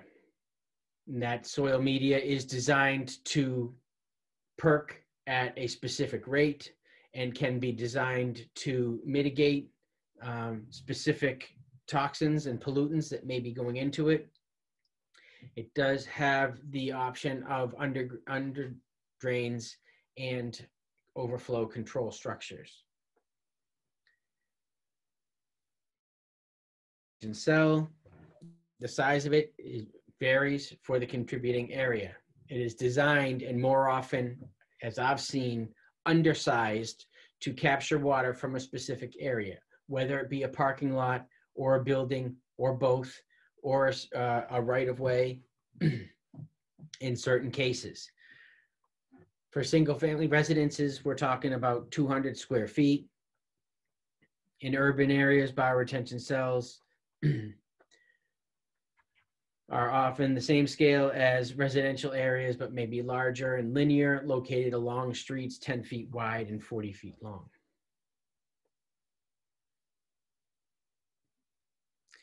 this is the standard detail of a bioretention cell. So you can see we have the, the whole width, the top width of what the cell is. The gently sloping sides, then we have that bottom width. That is the deepest portion of the cell. And there is a designed ponding depth. So it is the whole cell is designed to hold a specific amount of water and begin to infiltrate that water.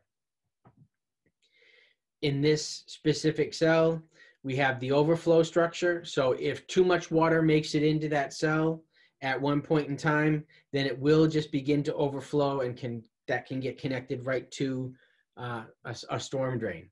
We then have the under drain. So as that water makes its way through the cell, by the time it reaches the bottom, it is then well filtered and then makes its way to the under drain, which too can be connected uh, to your system. The bioretention mix is designed to do all of that filtering. And that's where if you have diverse plant material and a healthy bioretention mix with healthy biota in it, you can break down hydrocarbons, you can trap microplastics, and you can handle pretty much any toxin, heavy metals, anything that's going to flow in there that that soil will either bind up within the soil uh, or will break down.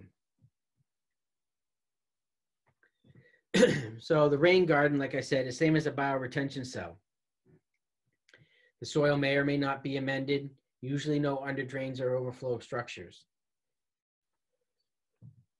Specific subgrade soil properties are less restrictive than bioretention. Typically receives less water. So this is more, rain gardens are more for, again, guess uh, you could build a rain garden, you know, on a building like a library, but it's usually for a residential lot. Typical rain garden is about 200 square feet. A 100 square foot rain garden will often receive water from an area five to 10 times larger than the rain garden. A typical rain garden is about six, six inches, six to eight inches deep. And as you can see here, there is an overflow, but that overflow is just part of the rain garden design out the back. It's not an actual pipe that leads to anywhere. Uh, it is just a, a low area in the edge of the rain garden where the water can pass through. A rain garden can be made into any shape and size you want as long as the overall size of the rain garden is enough to handle the amount of water that is going to be flowing into it. Um, Just a quick question. Um, with good maintenance, is there like a design life for these? Like, do you have to replace the soils, like with the contaminants and things like that, or what's the design life of these? Not with with proper maintenance, you're you're fine. Um, and the design life, as far as I know, is is relatively with with maintenance relatively infinite. And, and what, I'm saying is, you know, if plant, certain plant material gets too large, like say over 10 years, 15 years, then you may have to remove that. Um, there is, you know, if a, if an instant happens and the whole system becomes clogged with sediment, then you may have to, you know, re reconfigure. Um, but if it is just doing its thing uh, and you have a healthy system that is properly maintained, there's no reason why it shouldn't just keep going. Okay. Even on roadways, like with um, salting of roadways or sanding of roadways, like do you find that issue like right next to public right of ways at So- all with the soils? Uh, again, so and we, we'll get into that when we get into kind of like forebays and buffer strips. Um, you know, salt can definitely be an issue, but you can amend the soil and or treat the, you can amend the soil in the beginning with like with gypsum, say, and that will make that soil salt resistant. And then there are soil drenches designed to move, help leach, like push salt through the soil.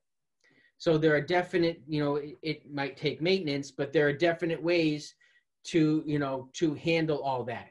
Through forebays and buffer strips, you can keep out, you know, a, a bunch of the sand that, that could typically make its way in there. Um, sand overall shouldn't be detrimental unless you're having massive amounts. Uh, and you'll know, you know, when the system starts to slow down or fail that, you know, maybe uh, maybe it's the the um, the soil, the media is getting clogged. But overall, and this is you know this is in in a perfect world when designed and maintained right, uh, you should be fine because what's going to happen is the roots are just going to go deeper and open up that soil and give that water plenty of places to go. Uh, and without any massive amount of silt clogging the overall soil media, the water should just be able to keep entering and moving through the system. The more soil life you have and the more root activity you have, the more hydrocarbons um, and, and toxins you'll be able to bind and break down within the soil. So there really isn't, I mean, nature's pr- a, a pretty great filter. So it's really would be hard to um, overwhelm it, you know, in theory, in a perfect world. Does it and can it happen? Absolutely. Especially with sand, like maybe not right away, but say like with parking lots when Yeah, like, that's what I'm thinking. when, when all of it just washes in there, but with um, a proper forebay and a proper maintenance plan of said parking lot, you know, if that parking lot is not just let to have all the spring rains wash all that sand from the winter into it, then, you know, if you have that parking lot cleaned and if you have a proper forebay that's easy to clean, you can prevent these things from happening. Again, it needs, as was said in like the first module, you know, it just needs to be, you need to think it through in the design. Yep. That's the part that I love. I love, I love, I love thinking of ways to make it better. Um, and then in, in, in doing that, and in, in seeing how other things failed and in bu- building these things and having them fail, you know, having them not perform how I wanted them to and or fail myself, then I've kind of been able to kind of tweak and understand, you know, along the way how important it is to say have a forebay or some sort of a sediment chamber that's easy to clean. Because if it all runs through riprap and that riprap, and we'll see an example of it, uh, it's actually, there's one in here, but like if all that riprap gets full, then that's like a full day of just moving boulders to rake out sand to put all those boulders back. And that's just sucks. That's not realistic. So you have to kind of be aware of what's going on.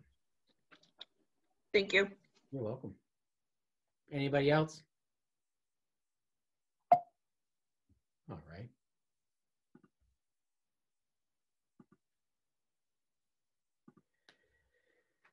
Uh, cross section of a rain garden. Again, six inches is your your average um, your average depth. Uh, there are multiple calculators. UConn has a an app. I think I know it's on Apple. I don't know if it's on Android, but you can just put in the square footage and it will basically tell you the size of the rain garden you need. It's a wonderful app to have, all right, because you can then use their little slide scale to say uh, in this in if in a two inch rain event, in a one inch rain event, how big does it need to be? You know, it'll tell you it needs to be 1,500 square feet. And you're like, well, if I don't have 1,500 square feet, what if I make it eight inches? And it'll say only 700 square feet. Like, beautiful. I'm going to make it eight inches deep instead of six inches deep. Real way to just kind of quick and dirty calculate. Um, you know, many of many of these things.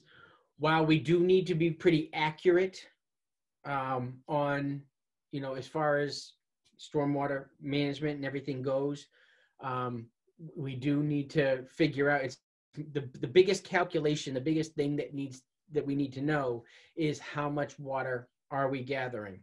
Um, and how fast do we need to either infiltrate it or facilitate it through the facility uh, to make sure that it doesn't get overwhelmed.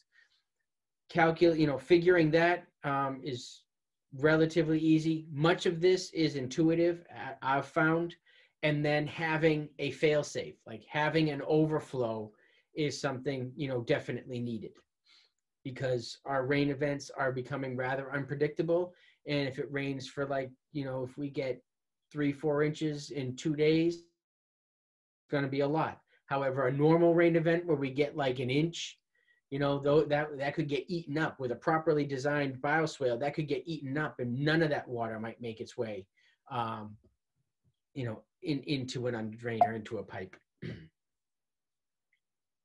So just here we have the the the overall just to understand we have the overall dimensions then there's the overflow area and then we have the the the uh, harvesting we'll call it i guess or um, dimensions of the rain garden um, with the designated ponding depth.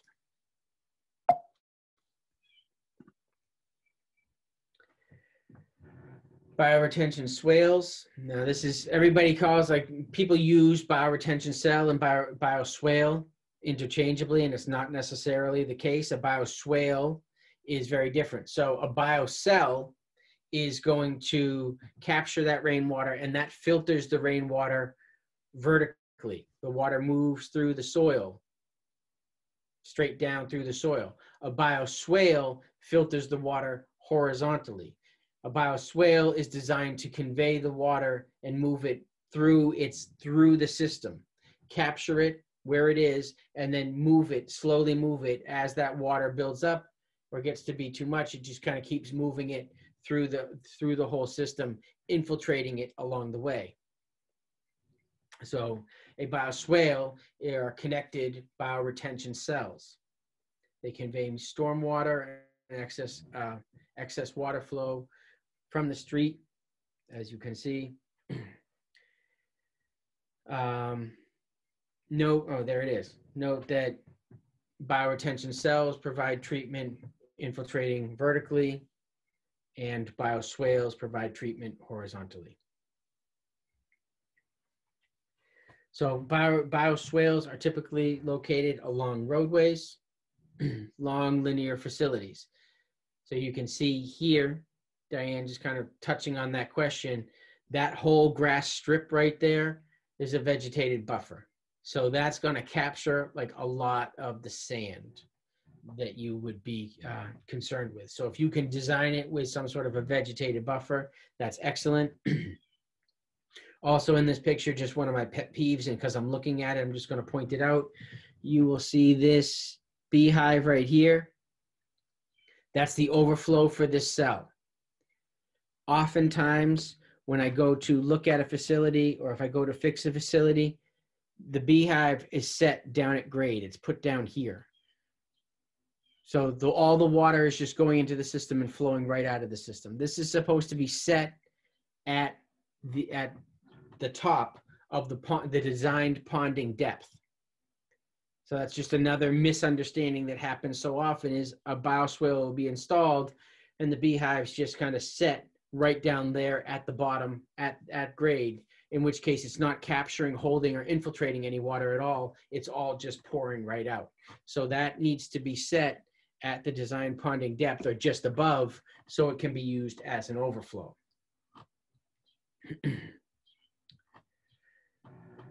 Typical bioswale size can be 100 feet or more. The top is usually 10 to 12 feet, and the bottom width is usually one to two feet and again is designed for the water to flow through it.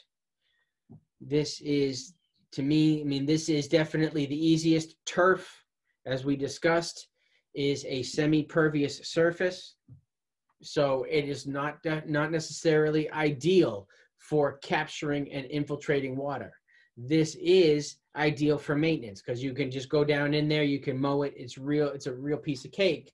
However, this is going to convey more water than if, say, the basin of this um, was a planted garden, which requires different maintenance, but will absorb more water.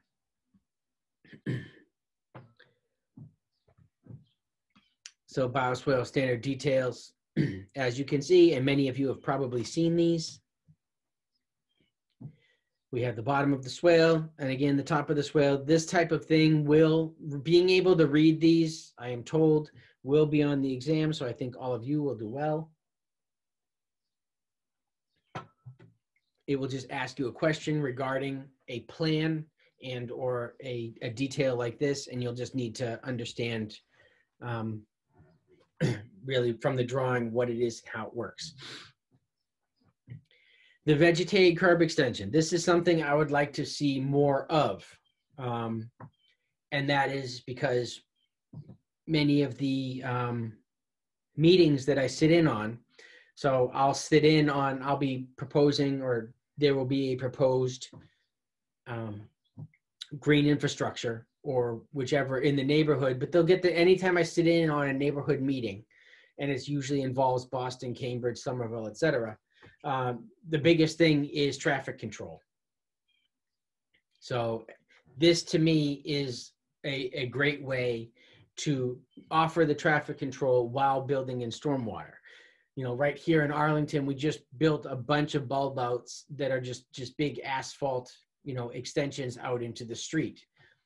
You know, and that's fine and that's real easy and they're there and it is a thing. However, I I see it as missed opportunity because if these were vegetated curb extensions, then we would have the traffic control, but we would also be reducing stormwater and, and we'd add flow control to our traffic control.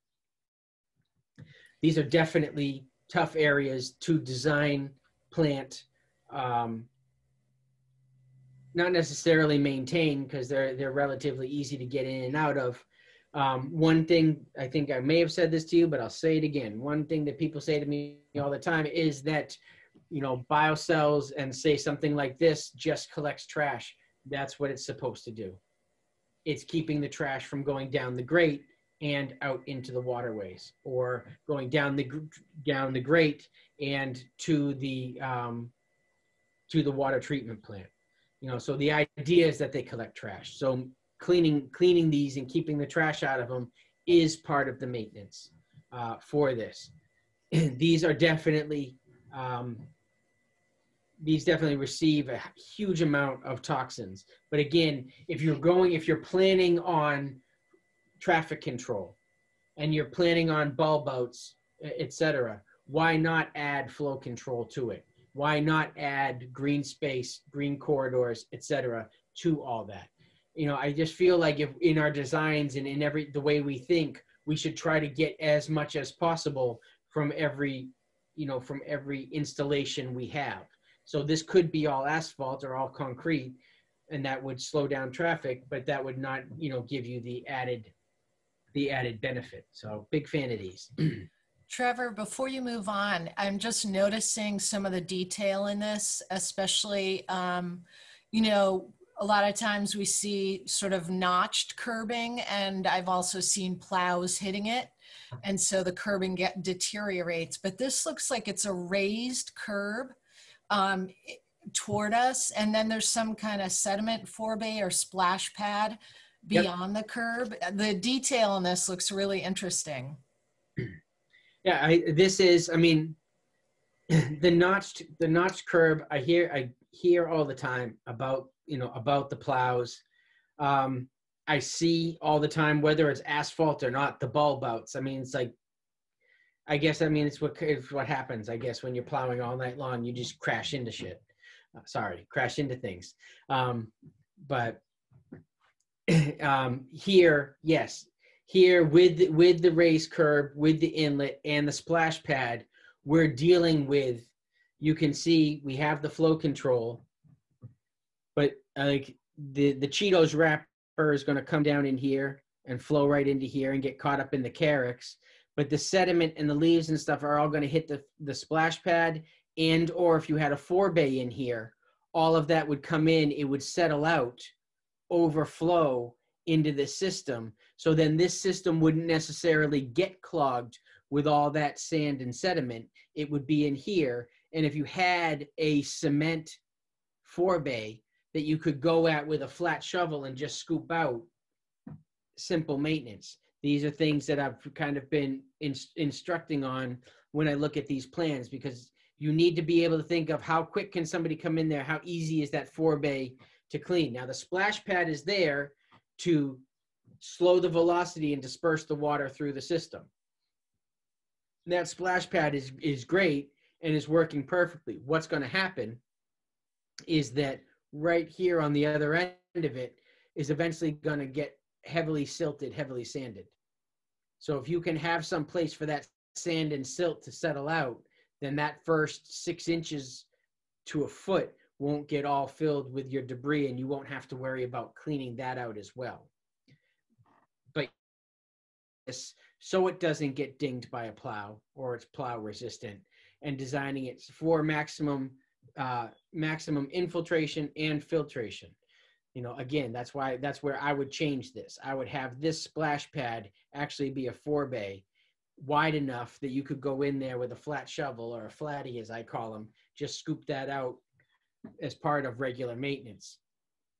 Then you just have to go in, you scoop that out, you pull out the trash, boom, you're done. After that, as that overflows, all that water is going to make its way through the system here. And you can either have it exit out onto the street again.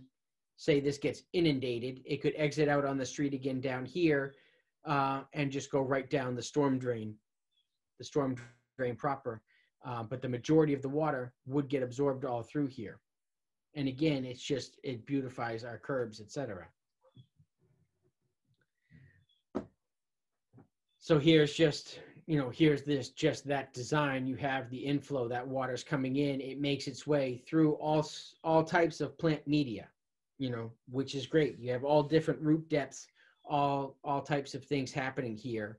And then you have the overflow. And if the overflow goes right to a drain, think of how much cleaner that water is going to be once it makes it there and think of how much less water there's actually going to be going down that drain if it's getting intercepted um, by this bulb out.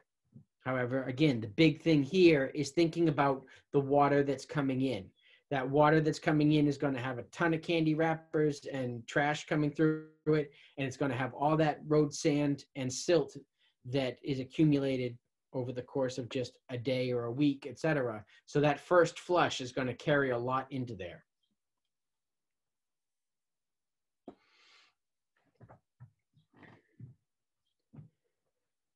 So here's the cross section. Now, these don't necessarily need to connect to native soils. This one has a gravel storage area so that water can make its way through the, uh, the soil media and actually down into the gravel. And in that gravel storage area, it can get dispersed and continue to infiltrate into native soils.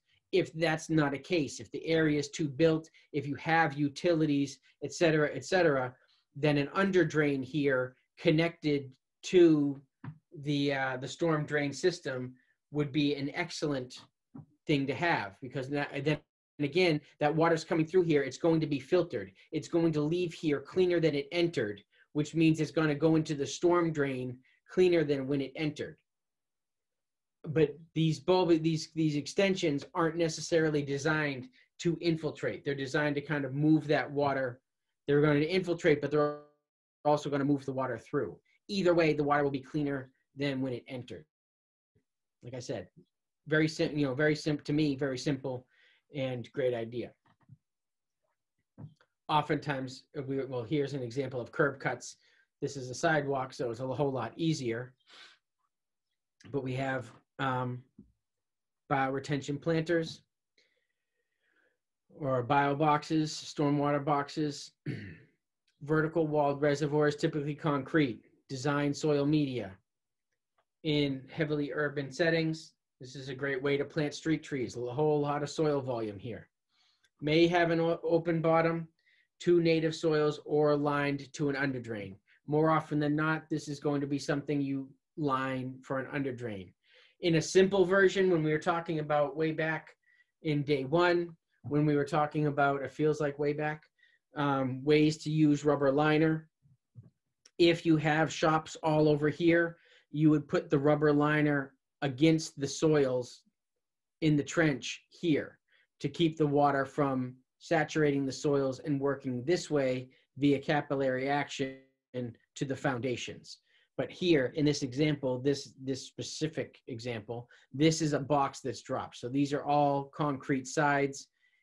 Um, I don't know whether it has an open bottom or not, but again, the idea is the water is going to come in, come in through here, come in through here, and just get caught, work its way down through that soil, and then out via the under drain, say, and it's going to be a whole lot cleaner. If this got way overwhelmed, then it would exit down here.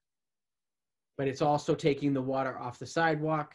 So it's just capturing water off the sidewalk that's coming off the roofs and whatever over there, and water from the street, and just taking that. Again, what it's doing, you can see there's another one down here. This little tree trench is not responsible for the entire street. We're taking little tiny bites all the way down the street. By installing multiple tree trenches, you're pulling in 500 gallons or 1,000 gallons at a time and infiltrating that, rather than trying to take, you know, 12,000 gallons and infiltrate it into one into one pipe. Here again, in most rain events, like if we were to have just an inch, the water would come in, the water would flow into this, and you'd never see it again, which is excellent. I have a, a quick question. Yeah. Um, how, what prevents this from being a tree coffin?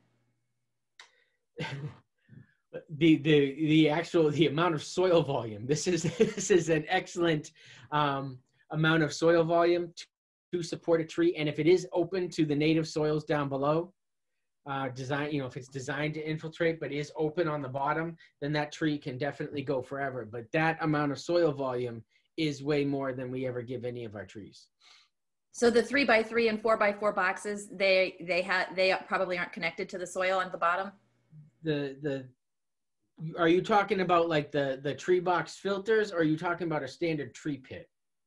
I'm I'm not sure. It's the I think it's standard tree pit. The thing you were talking about, we put these street trees out there and we only give them a tiny room and then they die. Exactly, like the four by six or the or yes. So like those that those tiny little areas um, don't you are usually compacted. Don't allow for much water to get in there, and underneath all of that, there isn't really any room for the roots to expand out. You know, to to go anywhere. And we're going to get into things you can do um, to to make sure that you have soil volume um, available for your trees.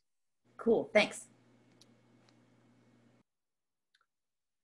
So your typical bioretention planter size is three to six feet, length three to six feet wide, and uh, 20, you know, 20 to 30 feet long, which, you know, depending on how deep it is, that's, you know, that's about, you know, 18 inches deep. That can hold a lot of water. Last class, people were saying that there is no way, this is Portland, people were saying there's no way that you could have this without a fence around it because somebody's going to fall in that could be a thing. So you might have to think about putting a fence around it because anybody not looking at their phone may trip over the curb and just fall in. Um, but I mean, there is a raised curb around it. You know, I, I don't know. I don't know what to say. I can't. The the having to having to like human proof and stupid proof the world as well as save it via you know for from climate change is is a huge uh, a huge task but you know things like this in heavenly urban areas are great because you're going to increase the viability of any of the street trees you are planting. And again you are taking stormwater out of the system little chunks at a time. You know if you had seven five 12 of these 20 foot by six foot systems going down you know down a street you were going to pull out massive amounts of water and massive amounts of pollutants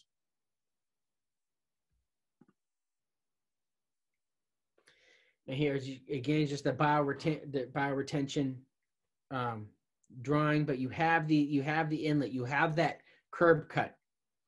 Essentially, is what it's probably going to be, or you, you know there'll be some sort of a, a, a curb cut here, that will catch the water. The water is going to flow down the street and it's going to go right into here.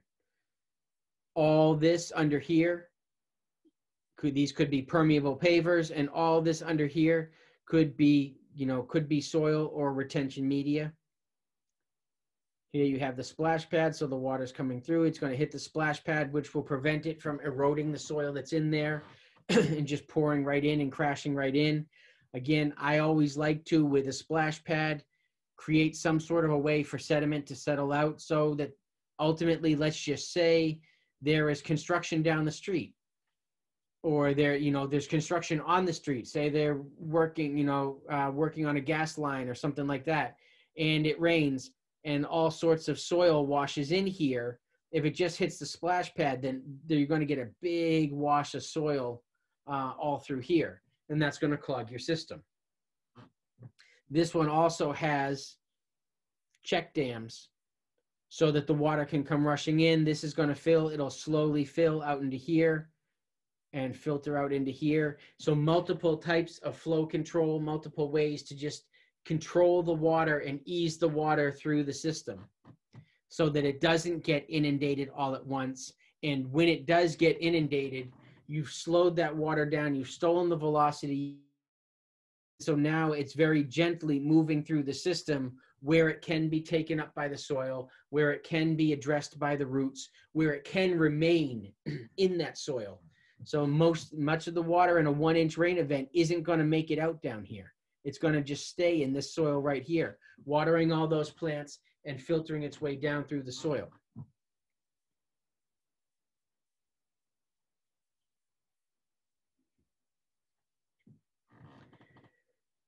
Um, bioretention cross section, just so you can see, you have the raised curb so that hopefully people don't go falling in.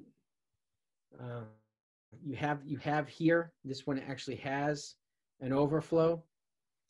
So if this were just a contained unit, um, and this also has an open bottom with the gravel storage. So the idea with this cutaway is that all the water is going to come here. It's going to work its way through the soil. Most excess water will wind up down here in the gravel storage area, but then make its way into the native soils uh, and just continue to continue through. If we had a giant rain event, or if these soils were all saturated to the point where they couldn't take on anymore, then you have this little overflow to handle that and just have that run out. It's good because the, our storms are unpredictable and because we don't know what they are. And it's good because our space is you know space and budgets are such that maybe we cannot build enough tree trenches to handle all the water so they may get overwhelmed so have that backup system have that fail safe system but let's just say these things handle six or seven storms out of 10 you know and three of them you need the overflow on that's awesome. That's you know that's that's huge progress. I mean, shoot, if they if they handled four storms, you know, four out of ten completely, and then if you know a few others just kind of peed out the overflow, you know, that would be that would be great too. You know, that's that's huge progress. And I mean, if you think about think about the cost savings on on that end, think about the you know including the environment especially like you you guys were saying you don't have combined so think about you know the effluent on the the reduction in in what in the in the water that's making it out to your waterways and think about the quality of the water that is. You know if there were an under drain here think about how filtered that water is and think about how much longer it's going to take for it to get there. Just like recreating the natural water cycle. If it takes a full day for this box to drain rather that's and then that water makes it to the under drain and makes its way through the under drain out to out to the river well that's a whole lot better than it running down the street and making it to the river in an hour or five minutes so we've reduced the the volume that's going to cut down on the flooding that's going to cut down on the flooding that's going to cut down on the pollution because the water that's now making its way there has been scrubbed and it's been scrubbed by nature, making its way into a natural system. So that natural system is going to identify it. Trevor, I have a, oh, of course, this, I have a question. Um, so one thing that we hear from our communities um, sometimes, or, or, you know, different staff people, um, might be that there's a concern that the more um, green infrastructure that exists that's filtering uh, pollutants from stormwater runoff, um, it will make the uh, pollution, and Patty, please correct me if I'm getting this wrong, because I know that you have these conversations too, but it will make the um, stormwater that's actually coming from uh, the outfalls themselves um, more concentrated, like the pollution more concentrated in uh, the outfalls from the stormwater that's not that's not going through those green infrastructure systems, and that's something that um, I have not I just haven't seen anything written about that. And I was wondering if you have like experience in that. Is that a concern that you hear from municipalities? Um, and how do you address it if you if it is? I I haven't, and I don't I don't understand. So, how would water filtered by say a tree planter be more concentrated in pollutants? That the water that's going through the green infrastructure would be more concentrated, but that the water that's left out of the green infrastructure, so it's like in on streets or something like that that don't have any green infrastructure installed, then the water that's um, would eventually combine. There's less water coming in from the green infrastructure so that the water that's left going through the outfalls is more concentrated in pollutants because it doesn't have this other it, all the other water has been removed. Does that make more sense? Yeah, it's an end of pipe question, and it Yeah, was it's one. It's not. I w- I would qualify that it was one public works director in one community that was sort of saying that well, if I put in these practices, then my end of pipe concentrations are going to be higher because there's less water diluting Mhm. um, the pollutants. Okay, I've never heard that, um, and I would I would love to counter with, how about this? How about we install a bunch of green infrastructure, and then do a study on the water at the outfalls, and then maybe we can have a meeting about that study and a meeting about the meeting. How about we just reverse the process and actually see? Because I'm I can see in theory, I guess, where you'd be going with that, but I, I, I, haven't, I've never heard that before, so I don't even know how to respond because I can't say, no, there's no way that can't happen because I guess if you are combining, you know, A, B, and C street all into one drain and that's running out, then you have all the water from A, B, and C street um, combined, which to me would be higher in a nutrient load. And then if you took out B and C street and made those green streets and you only had A street, then yes, I guess all the water coming off of A Street, you just have that that nutrient load. But if then if that nutrient load is, I would say, let's just say B and C Street is also coming through the storm drain via an under drain after that water is scrubbed. Now you have like clean water, cleaner water mixing with the higher nutrient load. So I guess what would happen is during a storm event, that initial outfall effluent would be higher in in a, in a nutrient load, I guess possibly. But anything coming behind it that has gone through green infrastructure is going to be relatively clean. You know, if all that water's gone through, it, that will be free of microplastics, many heavy metals, and hydrocarbons. So that will be cleaner water that's that's ending. So you might get a dose you might get a tablespoon of dirty water, but then you'd get two tablespoons of clean water. So I, I would think it would reduce that and balance it out. I've never heard that argument, so I'd really have to think that. Let me work on that. I'm gonna. but I've, I've I've never heard that argument, and it doesn't it doesn't sound valid to me. And I'd I'd actually want to see proof. Yeah. With the amount of times that people tell me to prove that these things work, I'd love somebody to like wait and do it right and then prove to me that they don't work because there's plenty of studies that do say mostly from the west coast is the problem but there's plenty of studies that say these things do work um, the Puget Sound is so much cleaner and everything else. So, um, but no, I've never heard that. But that's a great, it's a great question. I just have to think on that a little bit more.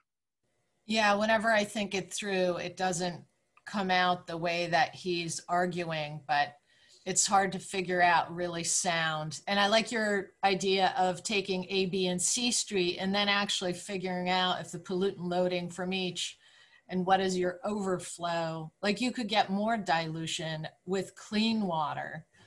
Um, so, you know, I, I don't, I don't know that it holds water. Yeah, exactly. So before we get into inlets, since it's 1147, why don't we take our half hour? And then we will come back and we will finish bioretention. So we will, let's just say 1150, we'll come back at 1120. All right. And then we can handle any questions from there. I'm going to think about that over the next half hour. um, but I will see you all in a little bit. You should all also um, let us know how you got your philodendron to sing. Like how you get that equipment. That would be so cool to hook it up to different plants and hear the different sounds that are emitted. Oh, absolutely. Yeah. Well, I'll tell you tell you that when I get back. Okay, great. All right.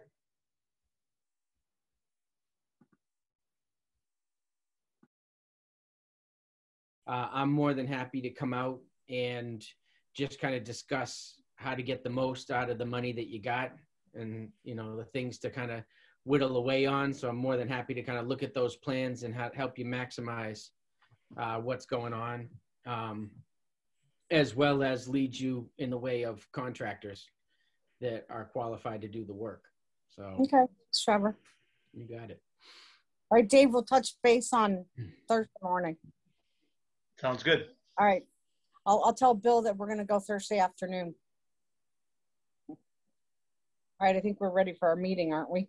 Yeah we're getting about to get going Okay, I would like to. I did not in starting this. I did. I did not kind of say Happy Women's Day to everybody, and celebrating all the women here in, in green infrastructure and making it happen. I very much appreciate that. In all honesty, the uh, it's it's it very much seems that the the future is female, judging by the the ratios in this in the classes that I've been teaching. So. I very much appreciate and celebrate that, and I'm hoping that you know maybe some of my male counterparts will will step it up and start and start joining the uh, joining the revolution. But I very much appreciate um, and have, have appreciated meeting and appreciate working with the uh, the heavy female population in green infrastructure. So happy Women's Day, everybody. And we will just uh, jump back into where we left off. Like I said, we will just get through this today. We are cranking through this, so you're definitely going. to have to find something to keep us going potentially on the last day. Um, so in discuss, we're just we were discussing bioswales, bioretention cells, uh, etc. Um, we are on inlets and types of inlets. So types of inlets, we have catch basins, dispersed sheet flows, uh, curb cuts, and trench drains.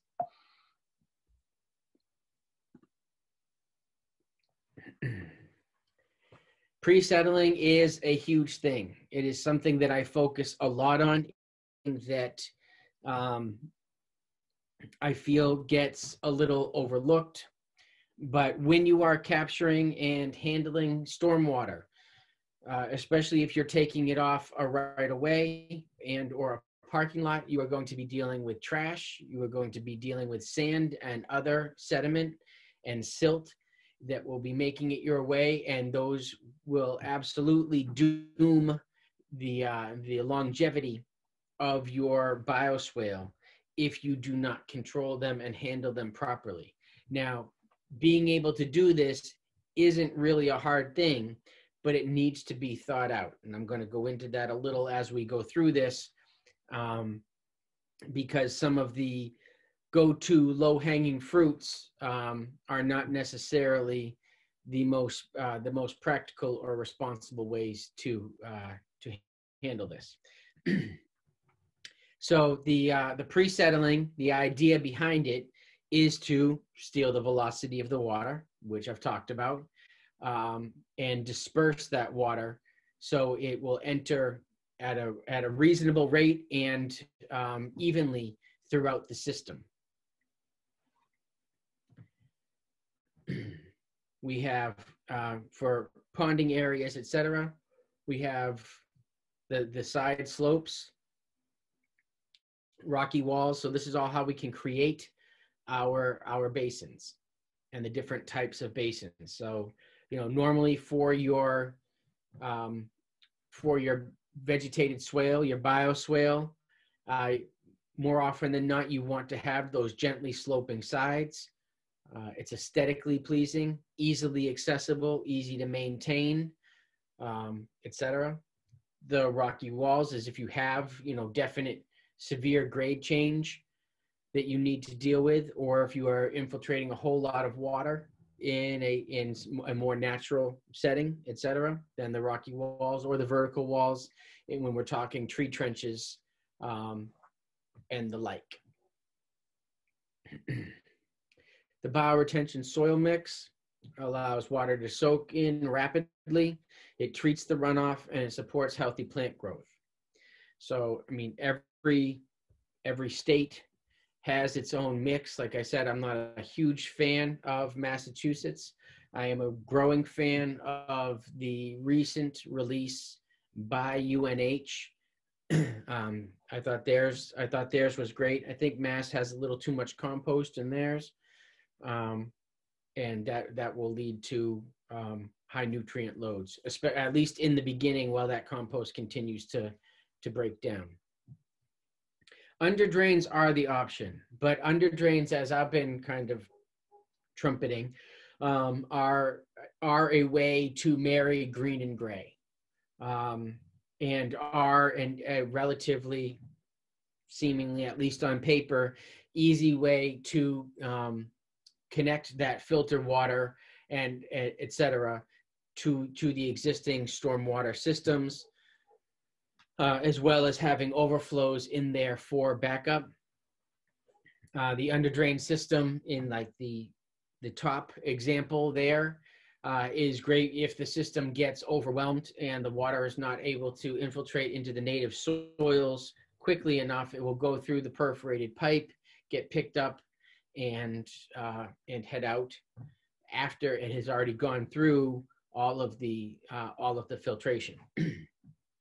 And then in a lined system, well, then all the water that is gathered uh, in that system ultimately will make its way uh, out out the underdrain, and you and you will uh, be able to have that in any sort of confined system. Aside from, I guess, like a rubber liner, but for instance, this vault, there needs to be a small drain because what will happen is you need about you need that under drain about six inches up from the base uh, of the vault.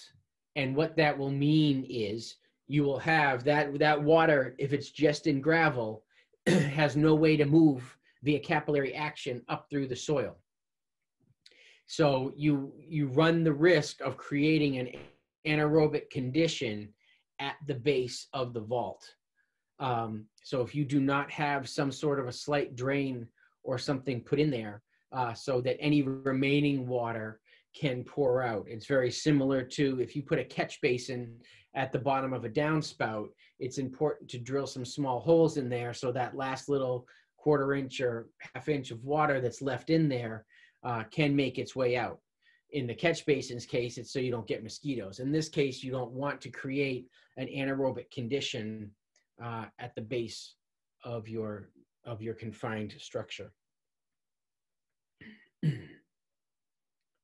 So Trevor, what were you suggesting below the un under drain? If the under drain is having some sort of a just a hole, even if it's like a, a half inch, quarter inch PVC pipe or something, just a drain at the bottom. So as as that fills up at the end, you'll have say you know 10 gallons, 20 gallons of water left in there, that can just slowly drain out. It gives the water someplace to go.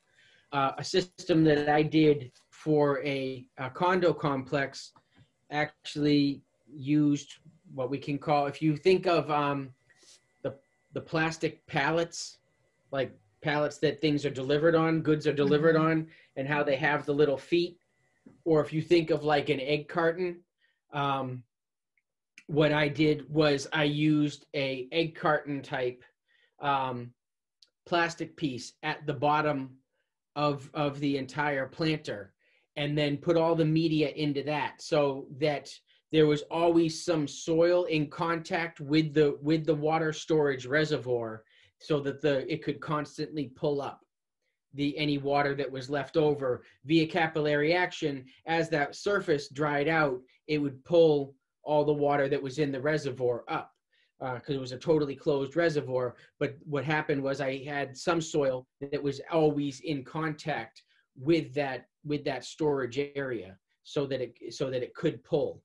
Um, there are multiple ways to do that. When we get into green roofs if you if you use um, mineral wool um, or you know some sort of a filter fabric like that, a bioretention or, or a retention fleece. If you have something like that in a container, that will between between the um, say the gravel and the reservoir, that will also pull pull the water up through. If you don't want to have the soil in contact. So like I said, I was using something that was very similar to an egg crate um, where some of the cells had little holes in them so the water could constantly seep back in. But you don't want to create an anaerobic condition at the bottom of your closed planter, which is a piece that gets, like I said, things that just get overlooked. Geotextile uh, is, a, is an optional thing, but as I said, we never want to have geotextile unless we do not want contact with the soil.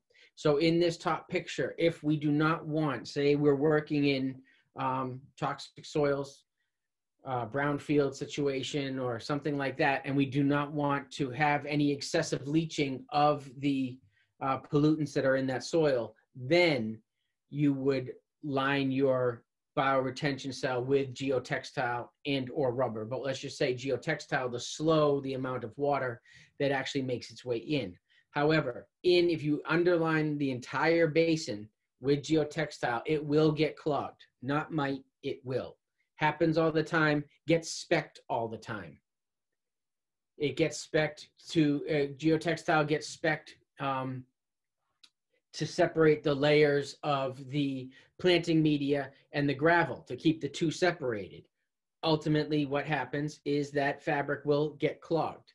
So my suggestion and what I always use is either um, I usually use a say my gravel is one and a half. I go to three quarter, then three eighths, and then sometimes I even go down to a number nine. So I keep grades of gravel in between my my soil and my my ultimate water storage in the gravel. I don't use a geotextile like that because it will get clogged. I will use geotextile in situations like you can see in the lower um, on the sides. I, I use geotextile for dry wells, bioswales, or anything like that. Anytime I don't want the native soils mixing with my gravel.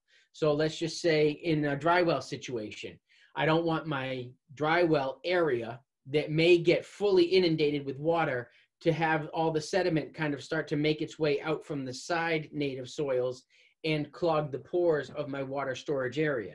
So I will use to, to protect the sides and to keep those um, those sediments out uh, of my of my gravel storage areas. I will use um, a geotextile on the sides.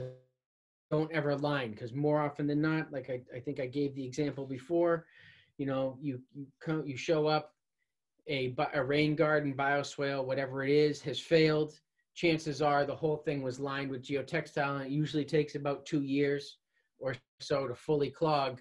And then the whole thing just kind of becomes a bathtub. And again people are wondering you know what to do and how did it happen et cetera. If you dig down enough you're going to find that fabric and you're going to find that fabric's totally clogged. So all you can either do is punch holes in the fabric or you have to remove the whole thing and start again depending on the size of the system and how much water you're infiltrating. Sometimes slashing the fabric will work. Other times you really do have to pull the whole thing out. So personally, not for the test, but you know, You don't want to put it on the bottom. Sides are okay. and personally, my I use grades of gravel and stone to separate my layers rather than putting fabric through there.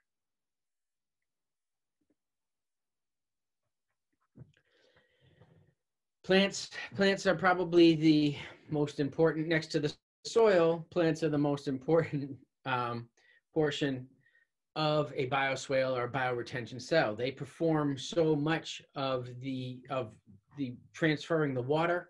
They perform a massive amount of filtration, uh, and they prov- they provide or they sustain all of the life that is in the soil as we talked about through photosynthesis, plants put exudates or sugars into the soil. Those sugars in the soil feed the life in the soil. The more types of plants, the more root depths you have, the more areas of the soil those sugars are getting pumped to, the healthier your soil, the more soil aggregates you have, the less compacted it is, and the more you have these little soil aggregates, the more soil aggregates you have, the more water storage you have. The more water storage you have, the more resilient green infrastructure bioswale facility you have. Because you, will have plenty of stored water to keep it going in between rain events. You'll have plenty of water to support all the life within the soil and all that life within the soil along with the plant roots is taking up and breaking down the different pollutants and things that wash their way in. So it, it's all nature and all we need to do is just set the stage and let nature do its thing. And we just have to trust uh, trust in that. But that being said, we can't just haphazardly throw plants in like they're a decoration. They're not. They are a huge functioning portion of this. And when we get like way deep into this, first we just have to start getting these in. But then when we do start doing like, you know, bioswales, the next generation, that's when I would like to start introducing, you know, specific soils designed for specific nutrients and specific plants using phytoremediation and using the plants to lock up the metals, using the plants to lock up specific toxins. So you can say, all right, well, we are on this parking lot. The amount of, you know, copper, zinc, and, and things that are found in tires, we're going to have that heavy metal load. We're going to have a salt load. We're going to have, you know, the microplastic load. We're going to have a fluorocarbon load. So you, you design your plants in your soils to handle those specific nutrients. Whereas if you were doing like a sidewalk, you could design your soil to handle something else.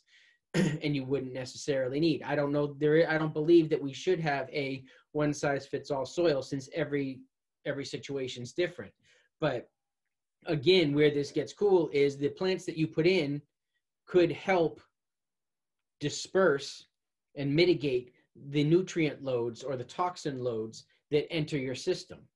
So when we were talking about longevity of a system, that's how you really achieve longevity of a system is you get the system to clean itself so now you have this essentially a self-cleaning system that does involve maintaining the plant material etc but you you don't have to worry about you know the nutrient loads of that soil getting too heavy if you are able to you know create those bonds to lock it up on a in a chemical way and have the plants take them up so it was a little a little deep dive into it, but that's that's where this can go, which is again what I find so cool. So the plants improve the water flow with their root penetration, roots at different depths. They open up the soil, they allow that water to go. They promote the organisms, like I said, through the exudates, which also then um, provides soil structure because all of that builds the aggregates that we need.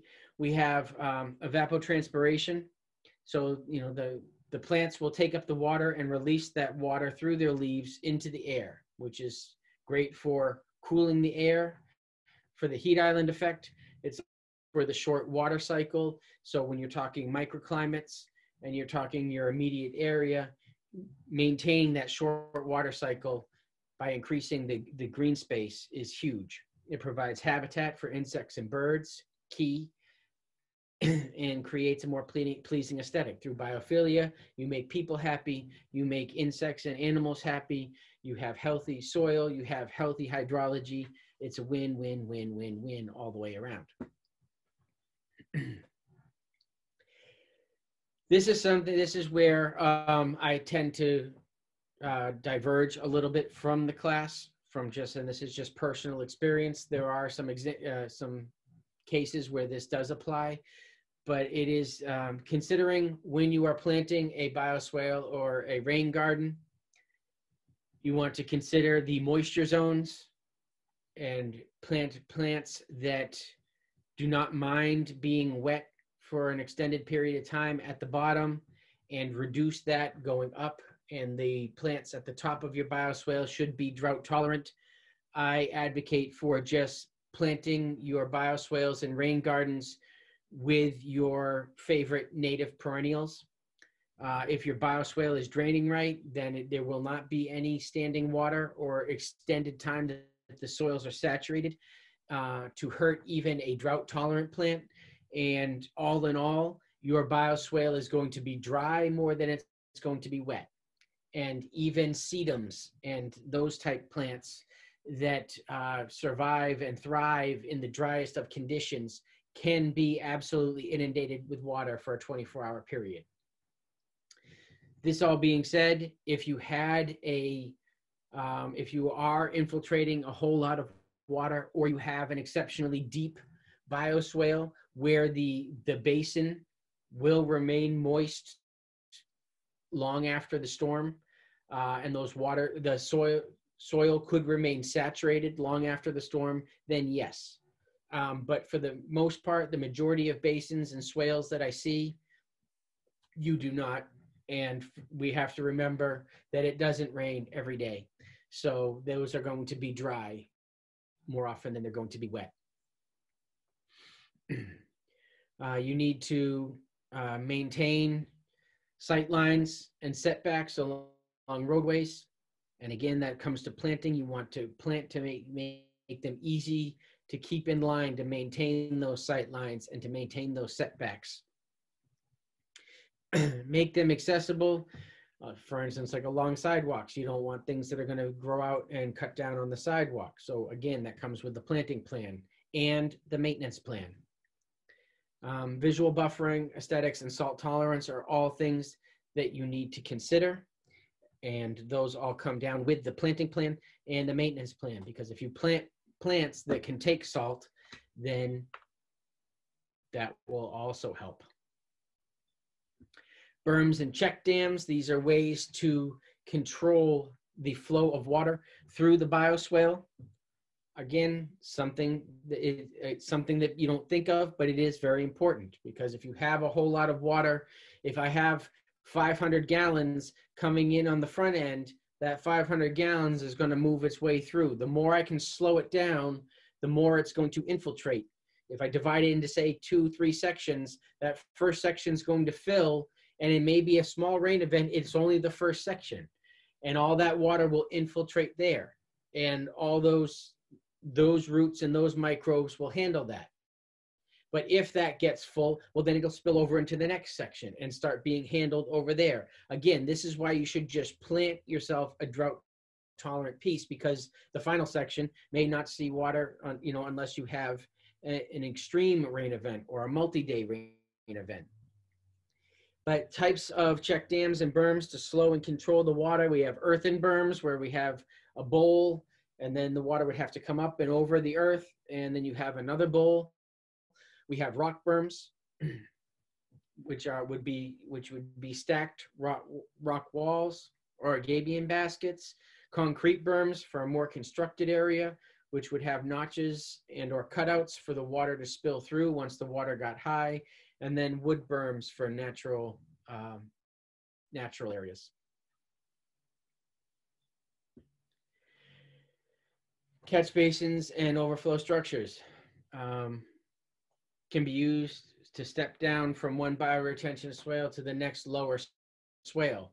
Again, those need to be set at or just above the ponding depth, not at the very bottom of the basin. I told you that's my, it drives me crazy. It's my pet peeve. Here we have unsecured materials in a rainstorm that are going to go washing across the parking lot into the storm drain and into the actual uh, biosystem itself.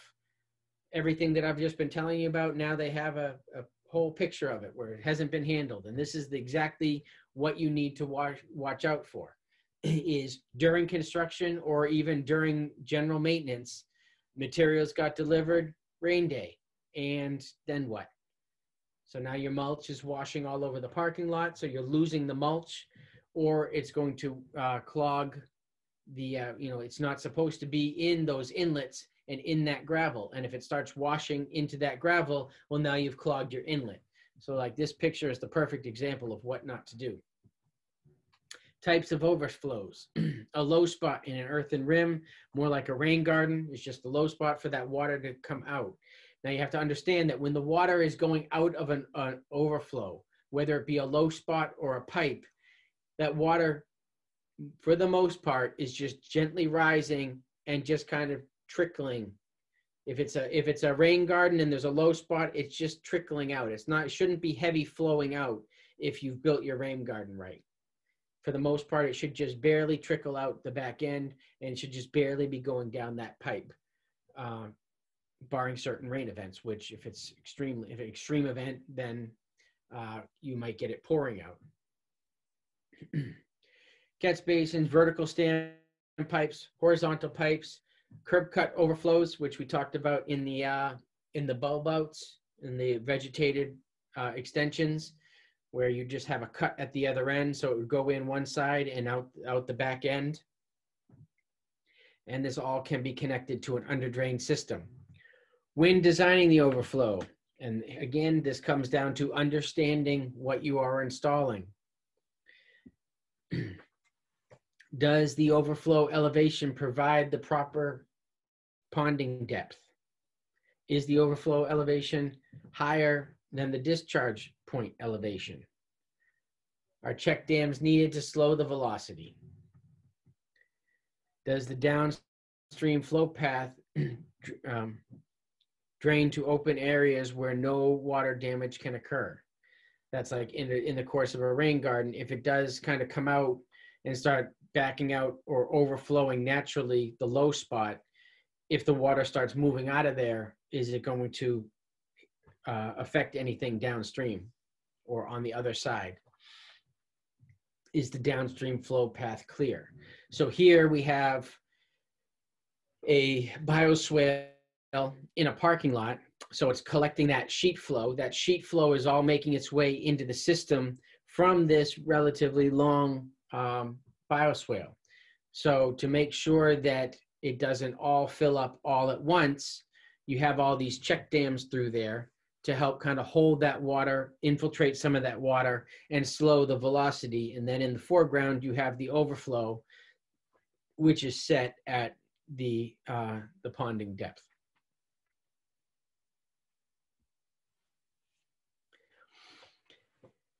So we have the um, the elevations for a bioretention cell. So this one here is, you know, full of, you know, nice river rock stone. Could also be riprap if we did not want it to be so pretty.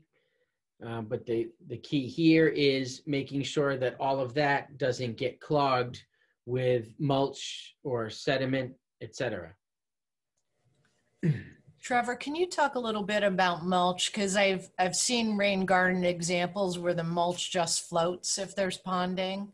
So is it good to specify like shredded bark mulch or hardwood or what what do you recommend when you specify so uh, well i use usually use a leaf mold mulch depending because sometimes that can add a high nutrient load um, mm-hmm. Oftentimes, I will use uh, like a, a, a, triple grind mulch or uh, a decomposed wood chip as well. But if you have like two like two chippy mulch, if you use like standard wood chip mulch, which pretty much like they looks like they used, you run in, in ponding, it's going to float. Um, no matter what mulch you use, unless you're using stone, um, if it ponds enough, there's going to be some floating. And that would then be part of the maintenance, would then be to kind of correct where all that mulch then settled once it drained. You need to you need to fix some of that. um, but I've often used if I can get a good one with you know that's not going to affect the nutrients too much. I've used a leaf mulch. I'll use uh, wood chips, like I said, decomposed wood chips. Uh, I'm a big fan of, or a triple grind, if you can get it. Usually doesn't float away, but like your standard residential wood mulch will just float like crazy and end up clogging clogging you know areas of your uh, of your retention cell Thanks. Um, so this is just a list of elevations to uh, elevations and things to consider um, I have a quick question. go ahead Um, it, it might be just that I've never looked for it, but where does a person find triple uh, grind mulch? Would that be at the farmer supply like the rest of it or? it's harder to, it's it's it's harder i've found it harder to find um so you do have to kind of go on a hunt because it really isn't i i can't say a regular supplier Okay. that, that i've been able to find um you know last time i found it was a job that i was doing in new york Okay. uh, I, I found a new i found a a, a new york um supplier who somebody who had it but it, it is and it may it may be something that you can um, request for a project uh, but I find arborist ramial mulch is another one. Uh, it's a it's just it's that's a good one. It's expensive, um, great great to use. Again, it comes down to how decomposed it is because you don't want to be nutrient loading, but it's great because it doesn't float. Just like the leaf mulch doesn't float. Um, I tend to I I don't use stone as a mulch It's a pain to clean um, for starters because since it's not going to go anywhere you would then have to take always clean the sediment and stuff out of it. It also um, keeps this the soil warmer in many cases than i than i want it to be um, which isn't great for the plant life. The idea of the mulch is to regulate the soil temperature and the stones end up kind of warming and creating kind of false environments uh, within the root zones uh, and in the in the system itself. Uh, it can be used, and there are certain situations where it's fine. But I think filling your entire system with stone is just not the way to go. Great. Thanks. You got it. Um, here you can see we have the water coming in up street, moving its way down over check dams down to the down to the uh, to the drain. We have severe compaction around the trees and on the street. Uh, on the, I mean, on the the, the curb side. Um, but we have the existing roadway as for the for the elevation, the overflow right there. We have the um, the drains, the check dam. So each each section can fill and drain, uh, and it's the whole thing is pitched and designed to to move down ultimately so it can leave. We do not want so that the check dams have to be set to keep the water moving through the system. They can't be all set at the same height, um, or you'll end up getting a backup and it'll just flow back onto the street. And now we get into the tree trenches for the earlier discussion. Um, and it comes down to silva cells. It's come down, it comes down to, and as I said before, it's better to plant 200 trees properly than it is to put 500 trees in. And so if we can set our trees up, trees really start, they don't really make a difference until they get much of a difference until they get older, until they get established, until you get a good canopy, until they can cast shade. When they're only like, you know, six, six, ten feet tall, you know, they're performing a service, but it's when they get to be like 30 feet tall um, that they really, they really go to town and they really start making a difference. So we need to set our trees up so that they will reach that age. Uh, we need to set our trees up and, and expect them to be where we planted them, you know, 30 plus years later. so silva cells are structural supports that will create uh, that soil volume. There are other um, structures that have been created. Silvacell is just the one one that we're talking about here. Subsurface modular support to provide adequate uncompacted soil volume so that trees can grow. The trench area can extend from the planting area under sidewalks and roadways.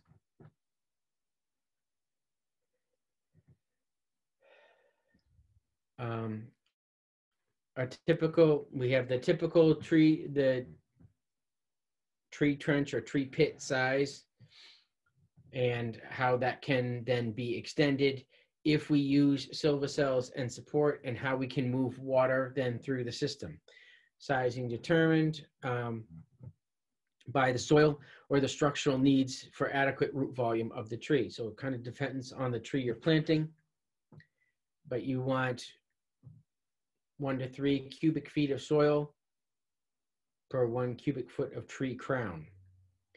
So your best bet then, if you're to follow that volume, would be to ask yourself what you want your tree crown to be. Not what it is going in, but what it is when the tree is mature.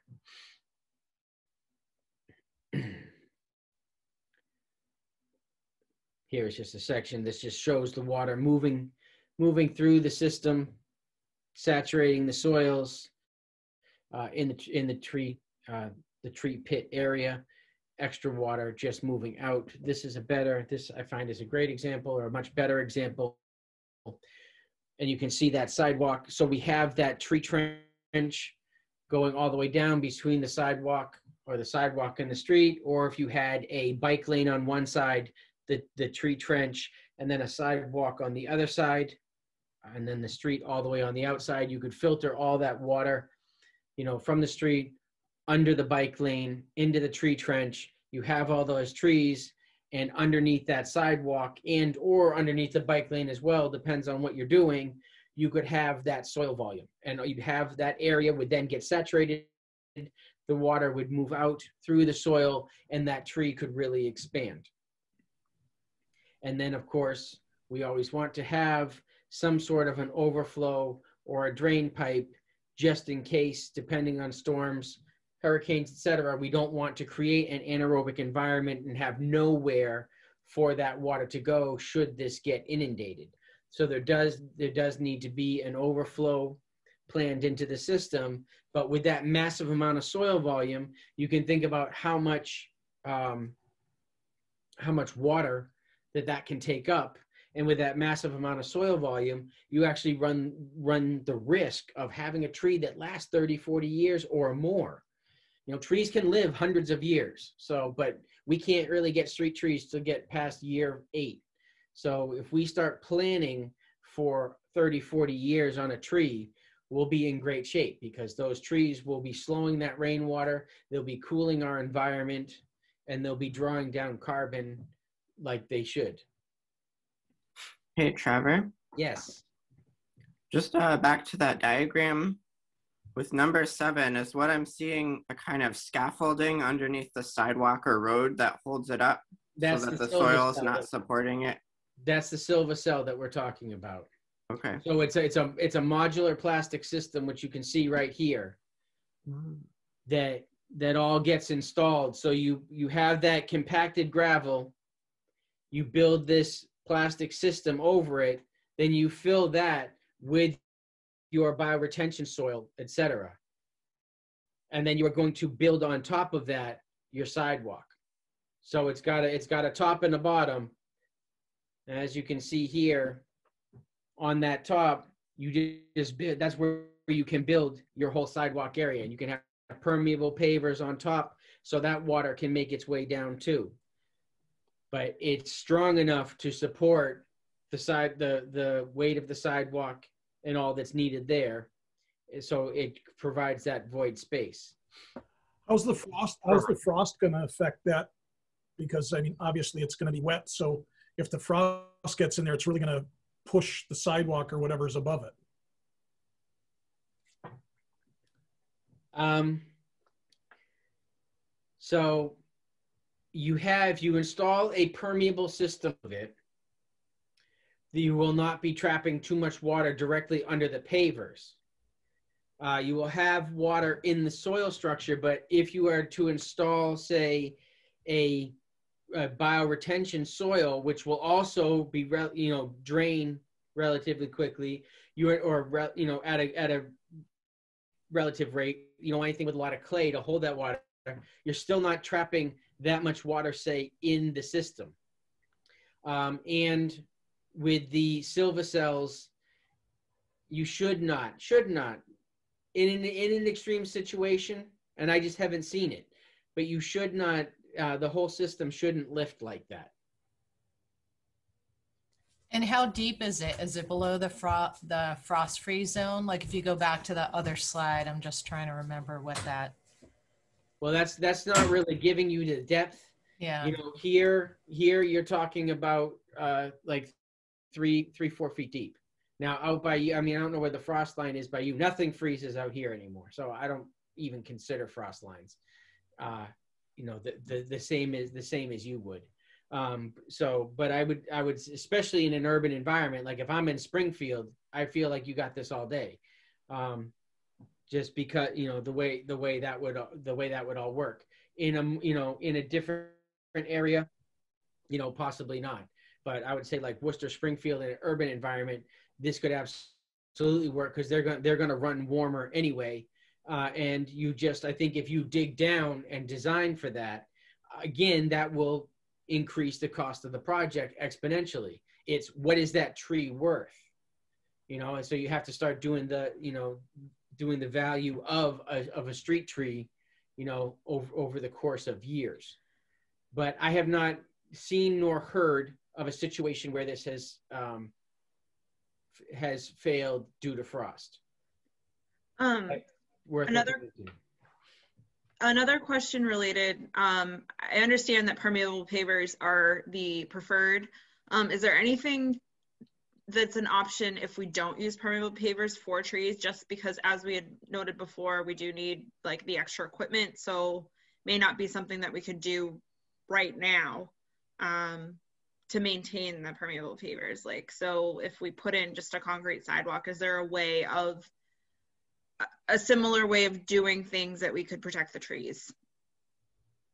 Are we talking about you're putting in a concrete sidewalk, Yep. no permeable pavers, but you're doing like an, ex- an extended soil volume like this? Yeah. So you're gonna Something- dig, you're gonna dig it out and put the soil volume in like this, and not have, you, but you won't. That's what I'm wondering is if, if there's a way of putting these, eh, putting trees in, um, this is with permeable pavers with, you know, just regular concrete sidewalks. It sounds like it's not a good option to me. Well, for, say for instance, here this is standard concrete sidewalk. Yep. Here's your here's your tree grate, and then you have the permeables on either side. Right. But I mean, Um, it, it's the maintenance thing that I'm worried about. Right. So then you would have to put in you would have to put in you know some sort of sidewalk drain. Okay. You know, if you didn't want to put in you know put in all those permeables, you need some way for the water to get in there. This this right here, you know, isn't necessarily going to do it. Right. You know if there isn't you know this works because this these these pavers here and these pavers here that's all silva cell so really what you have is this five by five um, tree grid but then you have like another you know five by eight section on either side yep. with those pavers. Yep. so yes it can work you just have to get creative. You have to figure out where's the water going. Because there's really so now we're talking about we have the longevity of the tree but if so here's the thing. In this case we're talking about just the longevity of the tree from what you and i are talking about. You we're not talking about the tree as stormwater management. So you're we're not filtering any excess water to this tree. We're just talking about building tree pits for the life of a tree which are kind of two different things Okay. Yeah, Definitely. you see what i'm saying Yep. so i mean like you could have here you could have a curb cut or you could have a standpipe like the uh, the tree box filter type deal where the but where the water comes in fills a chamber and then flows into the tree box. Or in what you're saying, then no, you don't have to have permeable pavers. You just need to make sure that tree's going to get water. So if, I mean, if we have, if you, if the runoff's going to all go in here, then great.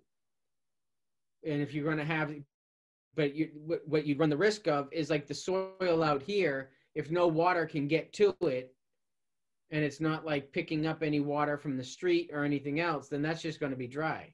No, exactly. That's why I just didn't know if there was another way of looking at it. Um, So you need you need little tiny little tiny metal ports all in here to make Yeah. sure that that sidewalk water is going to get in there.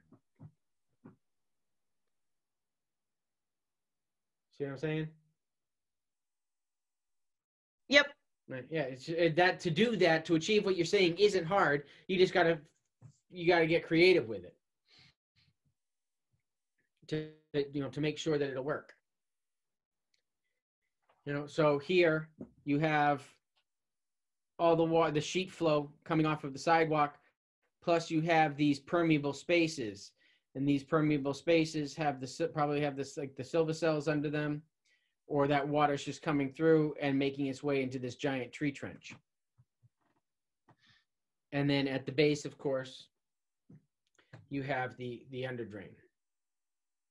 But the thing is, like, if you have a tree with a 30 foot canopy and it's only got, you know, and the on either side it's got 10 feet of sidewalk, then it's it's really not the idea of the canopy. Like we said, the water is supposed to travel th- through the canopy and make its way into the root zone. So we can have that big root zone, but if there's no way for the water to get to that root zone, we haven't we, we haven't accomplished enough we have the then we have the soil volume but if it's dry then it's not gonna it's not gonna help. Uh, setbacks for infiltration and stormwater will vary by location. You guys are the municipality so i would consult you. We need to have setbacks from utilities. We need to be aware of utilities and we do not want excess water ponding or freezing around utilities. Um, however if we are to install bio, some sort of a bio retention cell within the vicinity, especially in an urban area, we will have to be working around utilities. Then we need to do something to di- either divert the water, protect the utility, um, et cetera.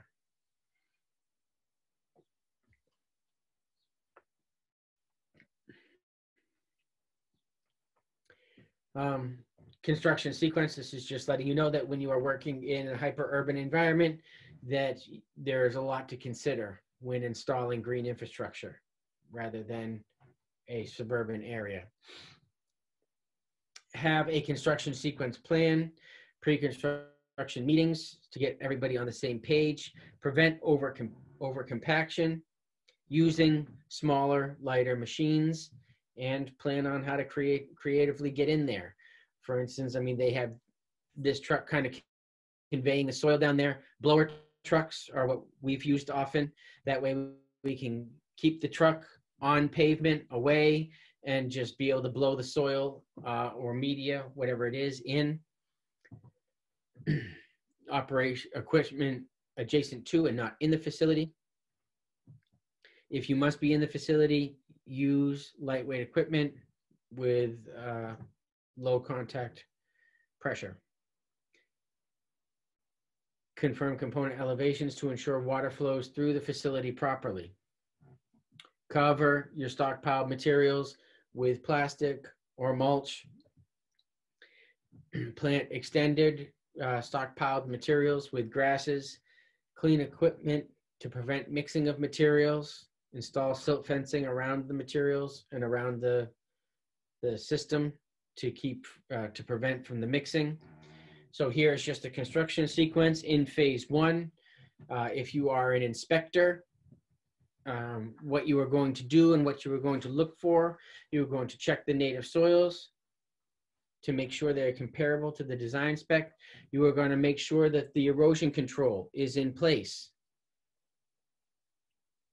Check the grading to make sure that the grading is on track to be graded properly.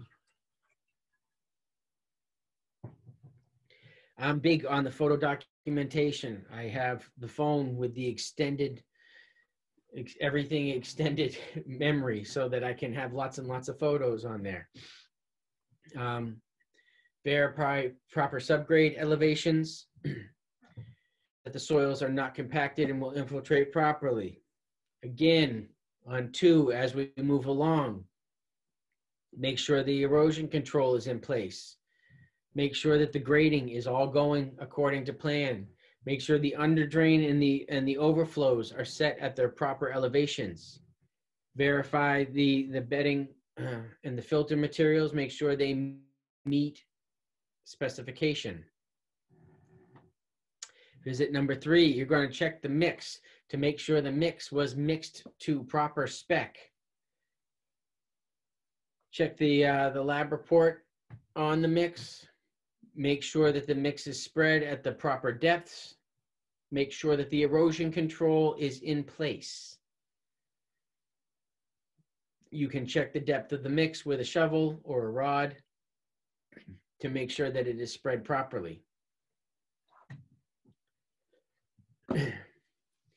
Your second to final visit. Make sure that the areas, the, the contributing area is stabilized. You see how they have the sandbags on the inlets? That's because we do not want street runoff coming into our system before we are cleaned, planted, and ready to go. Verify ponding depths once everything is in and all the soils are spread and everything like that. Verify the plant density and plant health and the mulch depth. Make sure that the inlets and the overflows are correct. And then on the final visit, you can remove the erosion control and make sure that you have O&M in place. Bioswale O&M is pretty easy to create a checklist. You know, I do all the plants that I put in there and what they look like. So anybody can look at it and then you can look at a plant, look at the leaf and look at the flower and everything. And if it doesn't look like that, then it doesn't belong in there. And then I have planting or pruning plans, et cetera, whatever the maintenance might be set up seasonally. During all of construction, you want to call before you dig. You want to have a traffic and pedestrian plan, especially in these right-of-way constructions. Protect the utilities. Follow standard uh, safety when working with, with vehicles and understand the critical root zone of the existing vegetation and have an arborist protect those trees. For rain gardens, the tools you will need. So there are like questions in here. What tools are needed for rain garden construction or bioswale construction? Rain gardens are very simple. You may or may not need a mini X. Um, rain garden soil or amendments. Again, you're usually dealing with native soils. You can just use a, a level, a level and a two by four to make sure that you are level all the way across. And then you just design where you want your overflow hand tamp for compacting berms, and a pipe for inflow if needed. So if you are running a downspout, you know, over that is going to daylight in the rain garden, then you will have that. Special tools for bioswales, vacuum excavation truck, concrete cutting, excavator, loader, uh, con concrete uh, contractor for the curb cuts, landscape contractor for with rock wall expertise, extensive hand tools.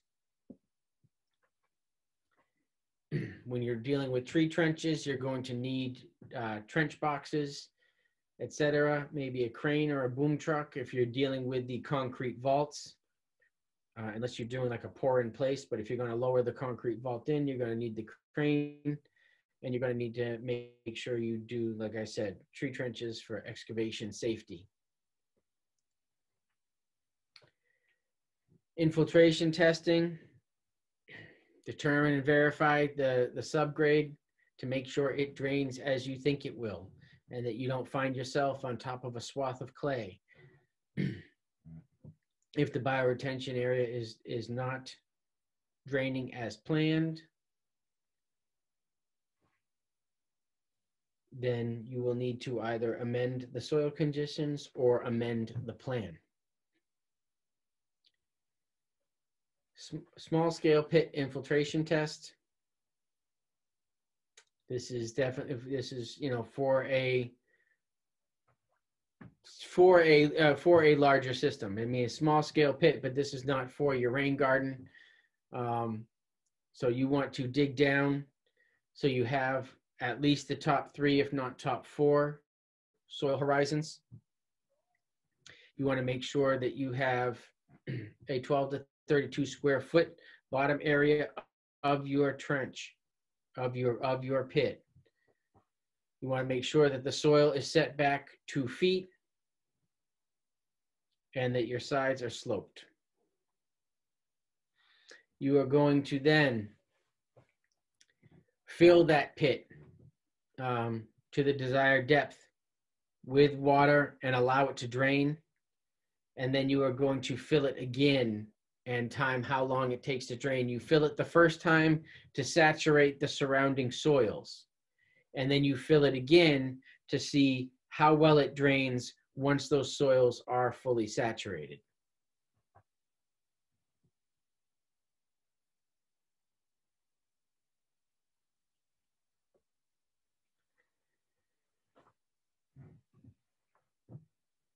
Uh, over excavate pit, uh, pit bottom to check for hydraulic restrict, restrictive layers like bedrock in the groundwater depth.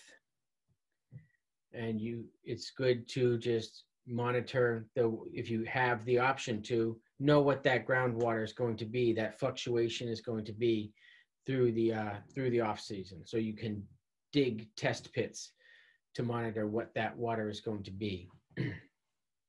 do your pit test between December 1st and April 1st. Um, recommend one pit test per bio retention site or every 5,000 square feet. For long sites, every 200 linear feet. Record the results on a field sheet.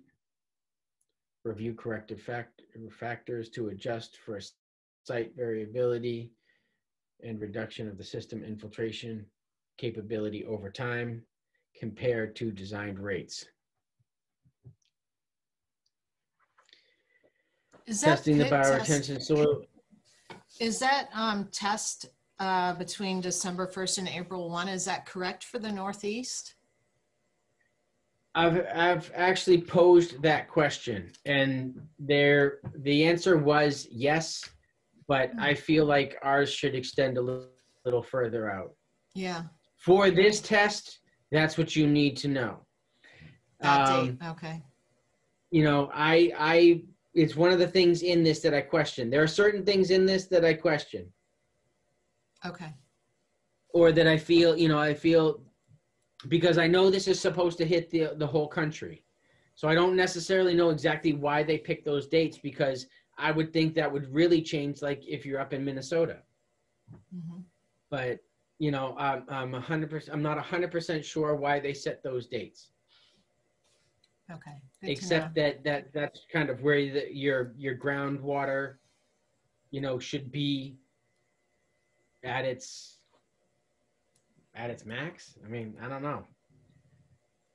I don't i, I said, like i said I, I didn't get an answer. It was one of those questions i posed but the people who handle all of this aren't the people who came up with it. You know there were 13 municipalities that got together and, and came up with all of this and i don't know how they came up with that date i was actually kind of hoping somebody on here could tell me that but all right. Um, observe the facility during when you so if you want to know that it's working properly you know observe the facility during during a storm event. I spend much of my time out in the rain. Um, checking out facilities checking out um, just water moving through you know through the area helps me understand Arlington is a very hilly town, and usually when we have heavy storm events, it just peels back the asphalt. So oftentimes I am found out in the rain, running around taking pictures of storm damage and trying to think of ways that we could uh, mitigate some of those problems. Uh, single rain infiltration test can be used one, upon completed. Flood test would be to flood the system and then watch how it drains after that. Test the compaction to, cor- to correlate with infiltration for rain gardens um, with a penetrometer. O and M. Here we go. This is the part that everybody that everybody hates, but it's really not that hard. What it is though is it is more landscaping landscape maintenance than it is pipe and pipe and vault maintenance. So typical equipment needed for uh, uh, operations and maintenance. The landscape equipment, you're going to need bark blowers and trimmers and uh, hand tamp push broom pruners, loppers, etc. For watering, you're going to need soaker hoses with wands, sprinklers, tree bags, buckets, keys to the irrigation box, and a water source. Landscaping plants, stakes and ties, mulch, arbors, wood chip mulch, coarse compost, compost mulch, or rock mulch. And bioretention soil per design. Erosion control, rocker cobbles for the for, for the inlets. Erosion control matting. Pipe inspection, you're going to need hand tools, wrench, flashlight, mirror, garden hose, plumbing snake, measuring tape. Just be familiar with, so when you get a multiple choice question on typical tools needed, you know, for bioretention, you don't need to memorize all this. I don't use half these tools. Just have a general idea um, pre-testing what tools are, are needed. Specialized tools, Vactor truck, mini excavator, seed broadcaster, soil monitoring equipment, flame weeder, which is my favorite. I use that for many things. Um, water jetter root saw for clearing under drains. Equipment for infiltration testing. Routine maintenance, remove trash and debris. Remove unwanted vegetation, prune and tr- trim desirable vegetation as needed to maintain sight lines. Remove any sediment or vegetation accumulated in the inlet. Check for erosion and sediment accumulation in the ponding areas. That's where you'll know, like if all your mulch floats and floats there, you may need to either change your mulch or may need to figure out why you're ponding so much. Add mulch if necessary to maintain a two to three inch depth. Water during drought periods. Clean, clean matted vegetation on facility bottom.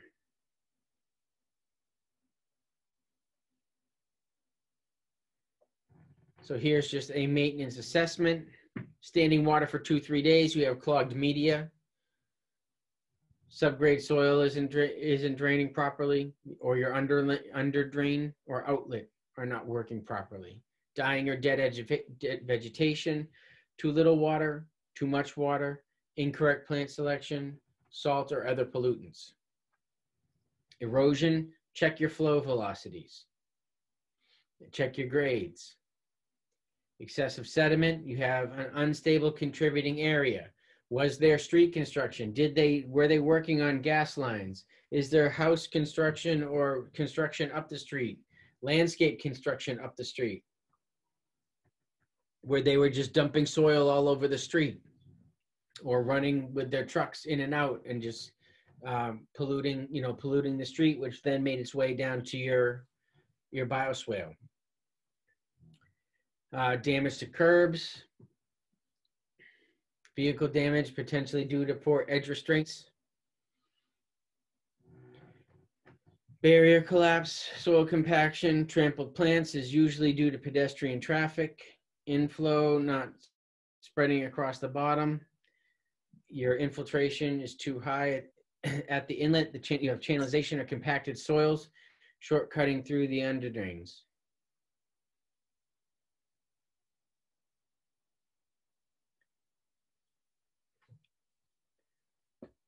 Identifying improper operation. So this is failed failed bioretention area.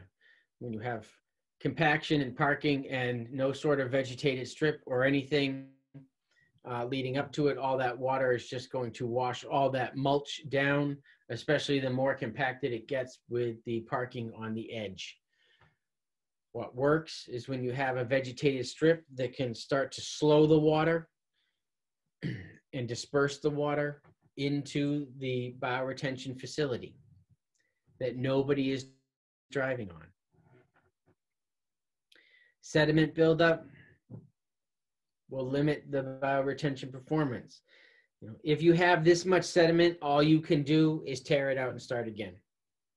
There's no kind of fixing that. This is a total failed system. You're not going to kind of scoop out the rocks or the sediment. You have to like scrape it all out and start again.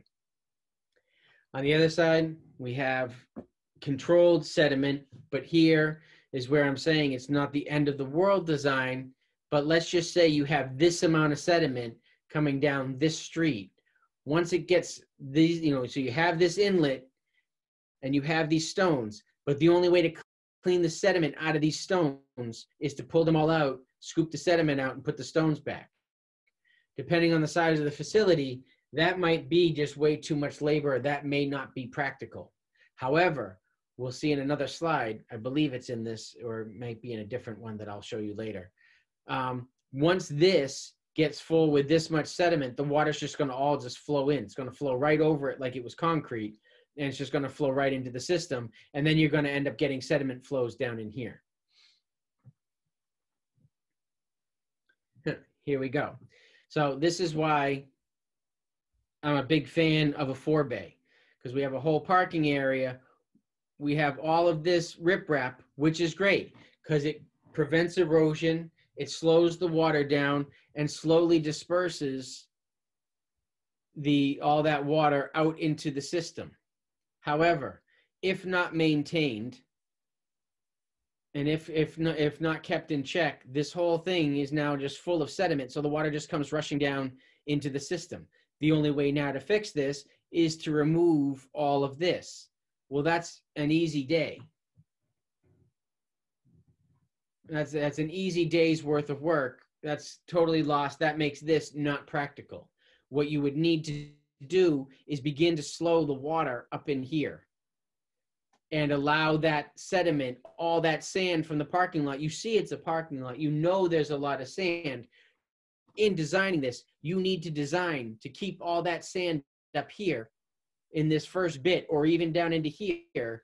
But make sure you have multiple bays then that that sand can settle out in so that somebody can show up and have this thing shoveled out in five minutes rather than taking a day plus to pull all of these stones and all of this sediment out of here.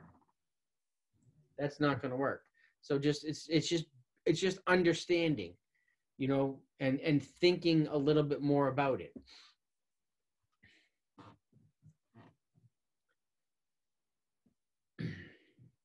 Here we have an improperly stabilized inlet, but what's happening here is the water's flowing across and it's coming right down here and it's just rocketing off this and just carving this out. And then all that water's just coming and now it's just, it's, it's going to start going the wrong way and compromise the, compromise that system. So here again, we have this proper inlet. This is great. This channelized channels it here it will go here. It'll overflow this berm. That's great. You know, and this this is okay um, depending on sediment. You know, it's not a huge, terrible area to handle.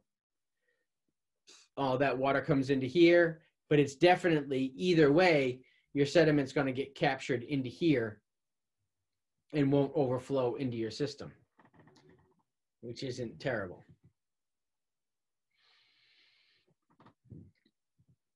make sure your inlet is clear and then it's not getting clogged with trash and or vegetated matter. This I like. Easy to clean with a flatty.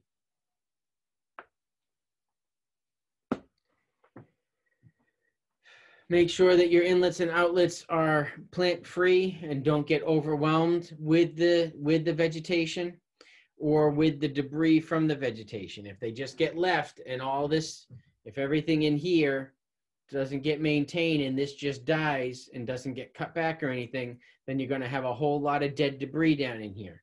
Which, if it was a perennial garden, it would be perfect, but that doesn't work for a bioretention facility. You need to make sure that your plant your plants get established and that you have proper coverage.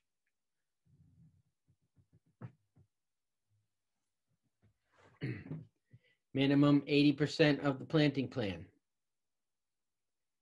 The plants, the plants and the plant's roots are what are going to provide erosion control on the slopes. And again, as we talked about, they are a part of the system. They're to be pretty. They're, they facilitate the water infiltration.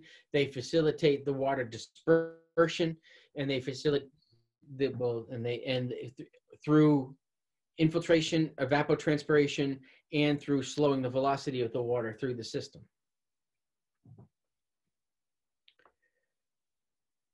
Healthy plants and dead plants, pretty easy to tell. you know, healthy plants have good foliage, good color, and they are in season. How they sh- they should they're flux they're blooming or whatever in season as they should be. Um, struggling plants are struggling plants. They look sick, they're dying, or they are out of season. Here, this I mean, this inlet is just gross and totally clogged, and these plants are well overgrown. As are these plants. This is not something that you want to see.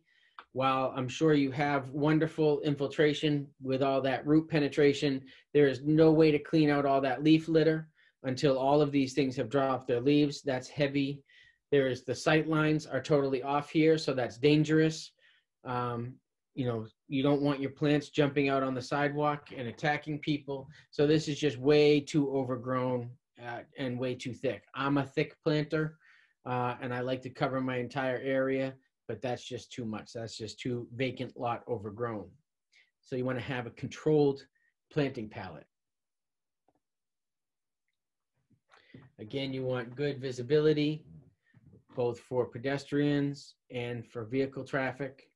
You don't want your system, especially in an urban environment, to get too overgrown. Underground inspections using closed circuit TV to make sure that your under drains are not full of roots or sediment.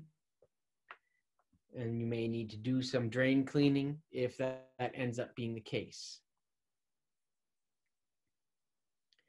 inspection documents. So when you are, are coming and inspecting a GI facility, you want to have the history of the facility. When was it built? Um, you know, you have the as built and the and the record drawings, any easements, etc. Location on on on the maps, site specific O and M. That's the big one. Site specific because an O&M manual that you poached from a Seattle bioswale is not going to be relevant in Holyoke.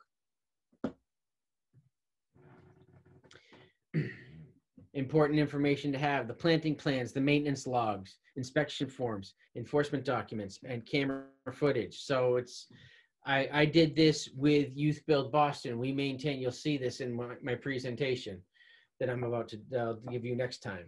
Um, but I did with YouthBuild Boston, we maintained five rain gardens for Boston Parks Department. And we had a whole checklist of is the inlet clear? Is the outlet clear? Is there excessive sediment? Is there excessive trash? Is there signs of vandalism? we took pictures. Are there are there excessive weeds? What you know, when was the last rain event? How much rain was there? You want to have the name of the inspectors, the date of the inspection, the location, the age of the facility, size of the facility. That should just all be in there. Time since last rainfall. So if it, the last rainfall, if you're there on Friday and the last rainfall was an inch on Monday and it's still soaking wet, something's wrong. Quantity of last rainfall. Have all that in there. There's just a, it seems tedious. It seems like a lot but here's here's the whole thing through the documentation and this is where i'm kind of big on documentation uh, to a certain degree through the documentation while we are trying to perfect, say, the bioswale, through documentation, we can figure out easily what's working and what's not working. So the next one we built with our next MVP grant, we won't make the same mistakes twice. So that's great. Through documentation, like for instance, like when I come onto a scene, I can be like, well, who was maintaining this? Or when was the last time it was maintained? Obviously knowing that nobody's touched it for three years. But you can then see, you can then be like, well, this didn't fail because it's a bioswale. This failed because nobody's looked at it for three years. because they don't even make this wrapper anymore. So I know that, you know, that the trash that's in here, this has been here for a long time. So, you know, that's that's the, you know, that's the other way. So we can we can see, we can figure out, you know, what's working, what's not working, what went wrong. We can identify problems bef- you know, before they become giant issues and become super expensive. We can also then when we have it down, then you can say, hey, we built this. It's been working like this for five years. So somebody can contact you and say, hey, what did you do? You can be like, here's our recipe. And that's the whole thing. Because then when it's working, we know what's working. And we can pass on and we, we can tell everybody else how to do it right so they don't make the mistakes. If we made mistakes, which is going to happen, you know, they won't make the same mistakes that we do. And it's not just in green infrastructure that mistakes get made we have great infrastructure in the built environment and all these other things. People screw up all the time. And if we figure out when and how it happened, then it won't happen again. But with green infrastructure, at least from my end, where it's so important to prove that it's going to work, if we can tweak the mistakes along the way, and if we can then come up with the secret sauce and just give everybody the recipe so the secret sauce isn't so secret anymore, that would just be awesome because then we can have successful facilities everywhere. So having some sort of a maintenance log, having an, an O&M plan, and then actually having that recorded will allow everybody, say in your area, to just mimic that design that's that's working perfectly in their own variation because they'll have different soil. So like I said, every single one's going to be a little different. But when you're in the general vicinity and most of your conditions are right, then you guys could, you know, just tweak it a little bit and know that it's working. for instance, in this discussion we had like the first day, building the bioswale six inches off the roadway, not necessarily successful. Build having a say a five foot buffer strip and having the center of the bioswale, you know, 10 feet off the roadway or so, it probably you're not going to have that same roadway problem. Okay, so that happened. Fix that and just don't do that again. Now it's been identified. Um, basic inspection list content still going, site content, so we have all, the plans, being able to check through um, how everything is doing and how it was the last time. So having all those check boxes. Safety equipment to have when you are checking a bioretention facility, boots, long sleeves, gloves, eye protection, high vis vests, traffic plan, pedestrian plan, utility protection, pest management if needed, one of the pushbacks I get for um, heavy urban environments is aren't you going to be creating habitat for rats? And we can mitigate that through um, the types of plants and how we plant and how we maintain. We can make it not a super habitable place. You know, for instance, I don't plant a thick ground cover when I'm worried about rat nesting. So eh, I have not found it to be an issue on anything that I've consulted on and or you know worked with or seen. Um, have just your general standard safety uh, precautions around hand tools, etc. Understand the critical root zone of the tree and respect the critical root zone. You will need to take separate safety precautions when working down in a tree trench because you will be subgrade. Visual indicators that your your facility is is working perfectly and it's great for it's great for um, the pedestrian and and public life. It does not interfere with anybody's sight lines and it does not create a hazard in any way. Branches and things are not leaning into the sidewalk nor into the street that anybody has to swerve for. and you can see over in and around the entire facility. Maintaining a healthy facility, you want to make sure that there is enough vegetation, 80% or greater is what you want to be looking for to support proper facility function. Plant health may result, may be the result of soil compaction, poor plant selection, improper care and handling, planted too shallow, planted too deep. It's better to plant shallow than too deep. Improper watering, chemical or herbicides. Noxious weeds, again, this is why if you're gonna do an O and M manual, if you create one of these, have a picture of everything that's supposed to be in there. And if you can have that picture of that plant, what it looks like, um, say even in each season, or at least maybe in the in the summer and in the fall, if it definitely has a, a, a look to it, that will make it real easy for somebody, even without much uh, plant experience, to know which ones ones don't. One of the greatest things that came out of the uh, the rain garden thing I did with YouthBuild Boston was full on plant ID. You know, the young adults that I was working with, they they came out with just for those little areas, but they were learning plant ID, they learned weed ID along with GI facility function. So they be they began to know what to look for, but they also started to at least pick up on what plants were there and what plants weren't. When we first got there, they didn't know what to touch, what to tear out. By the end of the summer, because we did it for an entire summer, by the end of the summer, they knew exactly what was, you know, what shouldn't belong, and they started even naming things. So um, it was it was great to see, and it's a great skill to have. Things we need to consider, especially kind of out by you guys. This is a, a common, I would believe, is a way common way things would look. So you have, you know, you have this facility and you don't have a plan, especially if this if that facility bumps right up to a woodland, it's going to look like that in no time. It's going to look like the lower picture in the blink of an eye. So you need to, especially because many of these things go in with plugs um, and very small plants, you need to make sure that you have those plants are cared for during the establishment period. Let them get big enough you need to let that plant cover come in because what you have in the upper picture is a disturbed area of delicious soil and every seed in the world wants to be blown into that area and take hold. It's got plenty of space it's got plenty of light and it's got plenty of nutrients. So that is like a weed magnet. So you do need to make sure that you maintain and make sure that you know the desired vegetation takes hold and will be outcompete any weeds that move in. You will still then have to come in, especially in a situation like in that picture, you will still have to come in and maintain any weeds that are kind of any weed pressure. Uh, inspecting the trees for signs of disease and stress. This is best conducted by a certified arborist.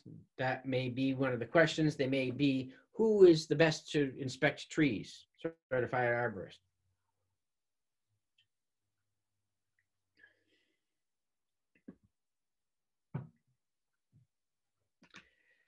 Um, performance flows. Performance flows increase an extra 20% if you have an under drain. They can move that much more water through the facility. Water quality, you want to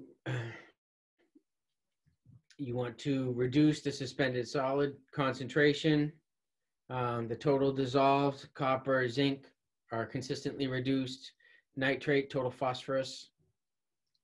Um, you want to make sure there's a reduction.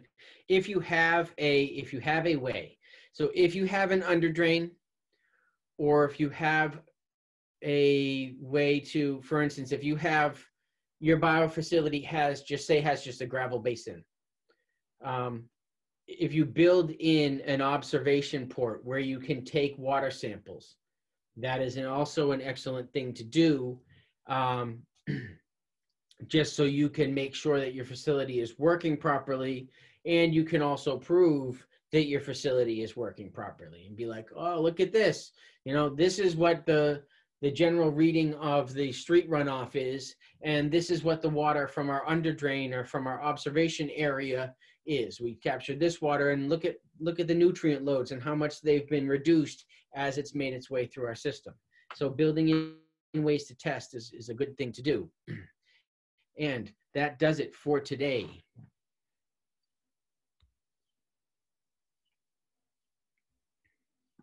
Does anybody have any questions? Are you all just super excited about bioretention and building bioswales and everything else? Whew, you guys are blowing me away with this excitement. Well, I can tell you about perc tests in Massachusetts. You can do them any time of year as long as you're below the frost line. All right. A, a cautionary note on perc tests, though. Um, they're applicable for designing small septic systems. That's what they were designed for. If you're designing a much larger system, and that's why I realized this is because my first job was in Florida designing as a geotechnical engineer. We worked on designs of large basins. And if you use an oversimplified analysis like a perc test, you will significantly underestimate the area that's required to drain a, a, given volume of water because it doesn't account for the groundwater mound beneath beneath the recharging basin. It requires a much more complicated analysis. So if you upscale the size of the basin more than what you're doing in this book, you could have a potential failure. You need a much more complex analysis. No, absolutely. I agree with that.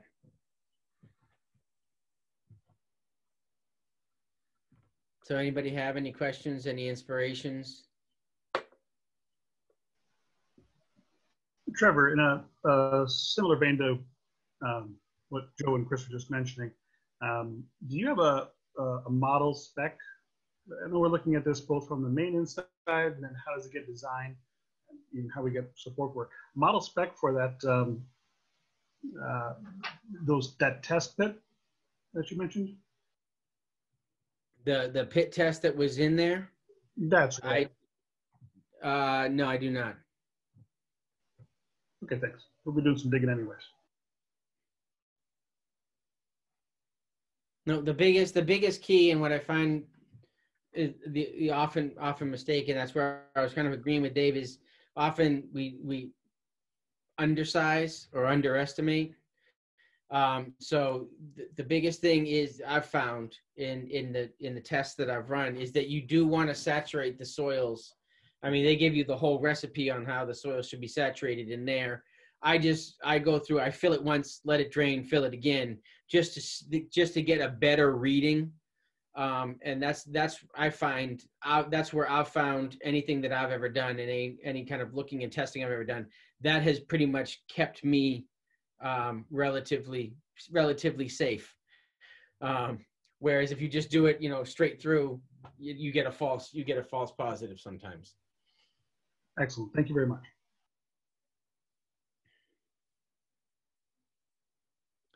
All right, guys. If you have if you have nothing, then we are all good, and we will get going tomorrow.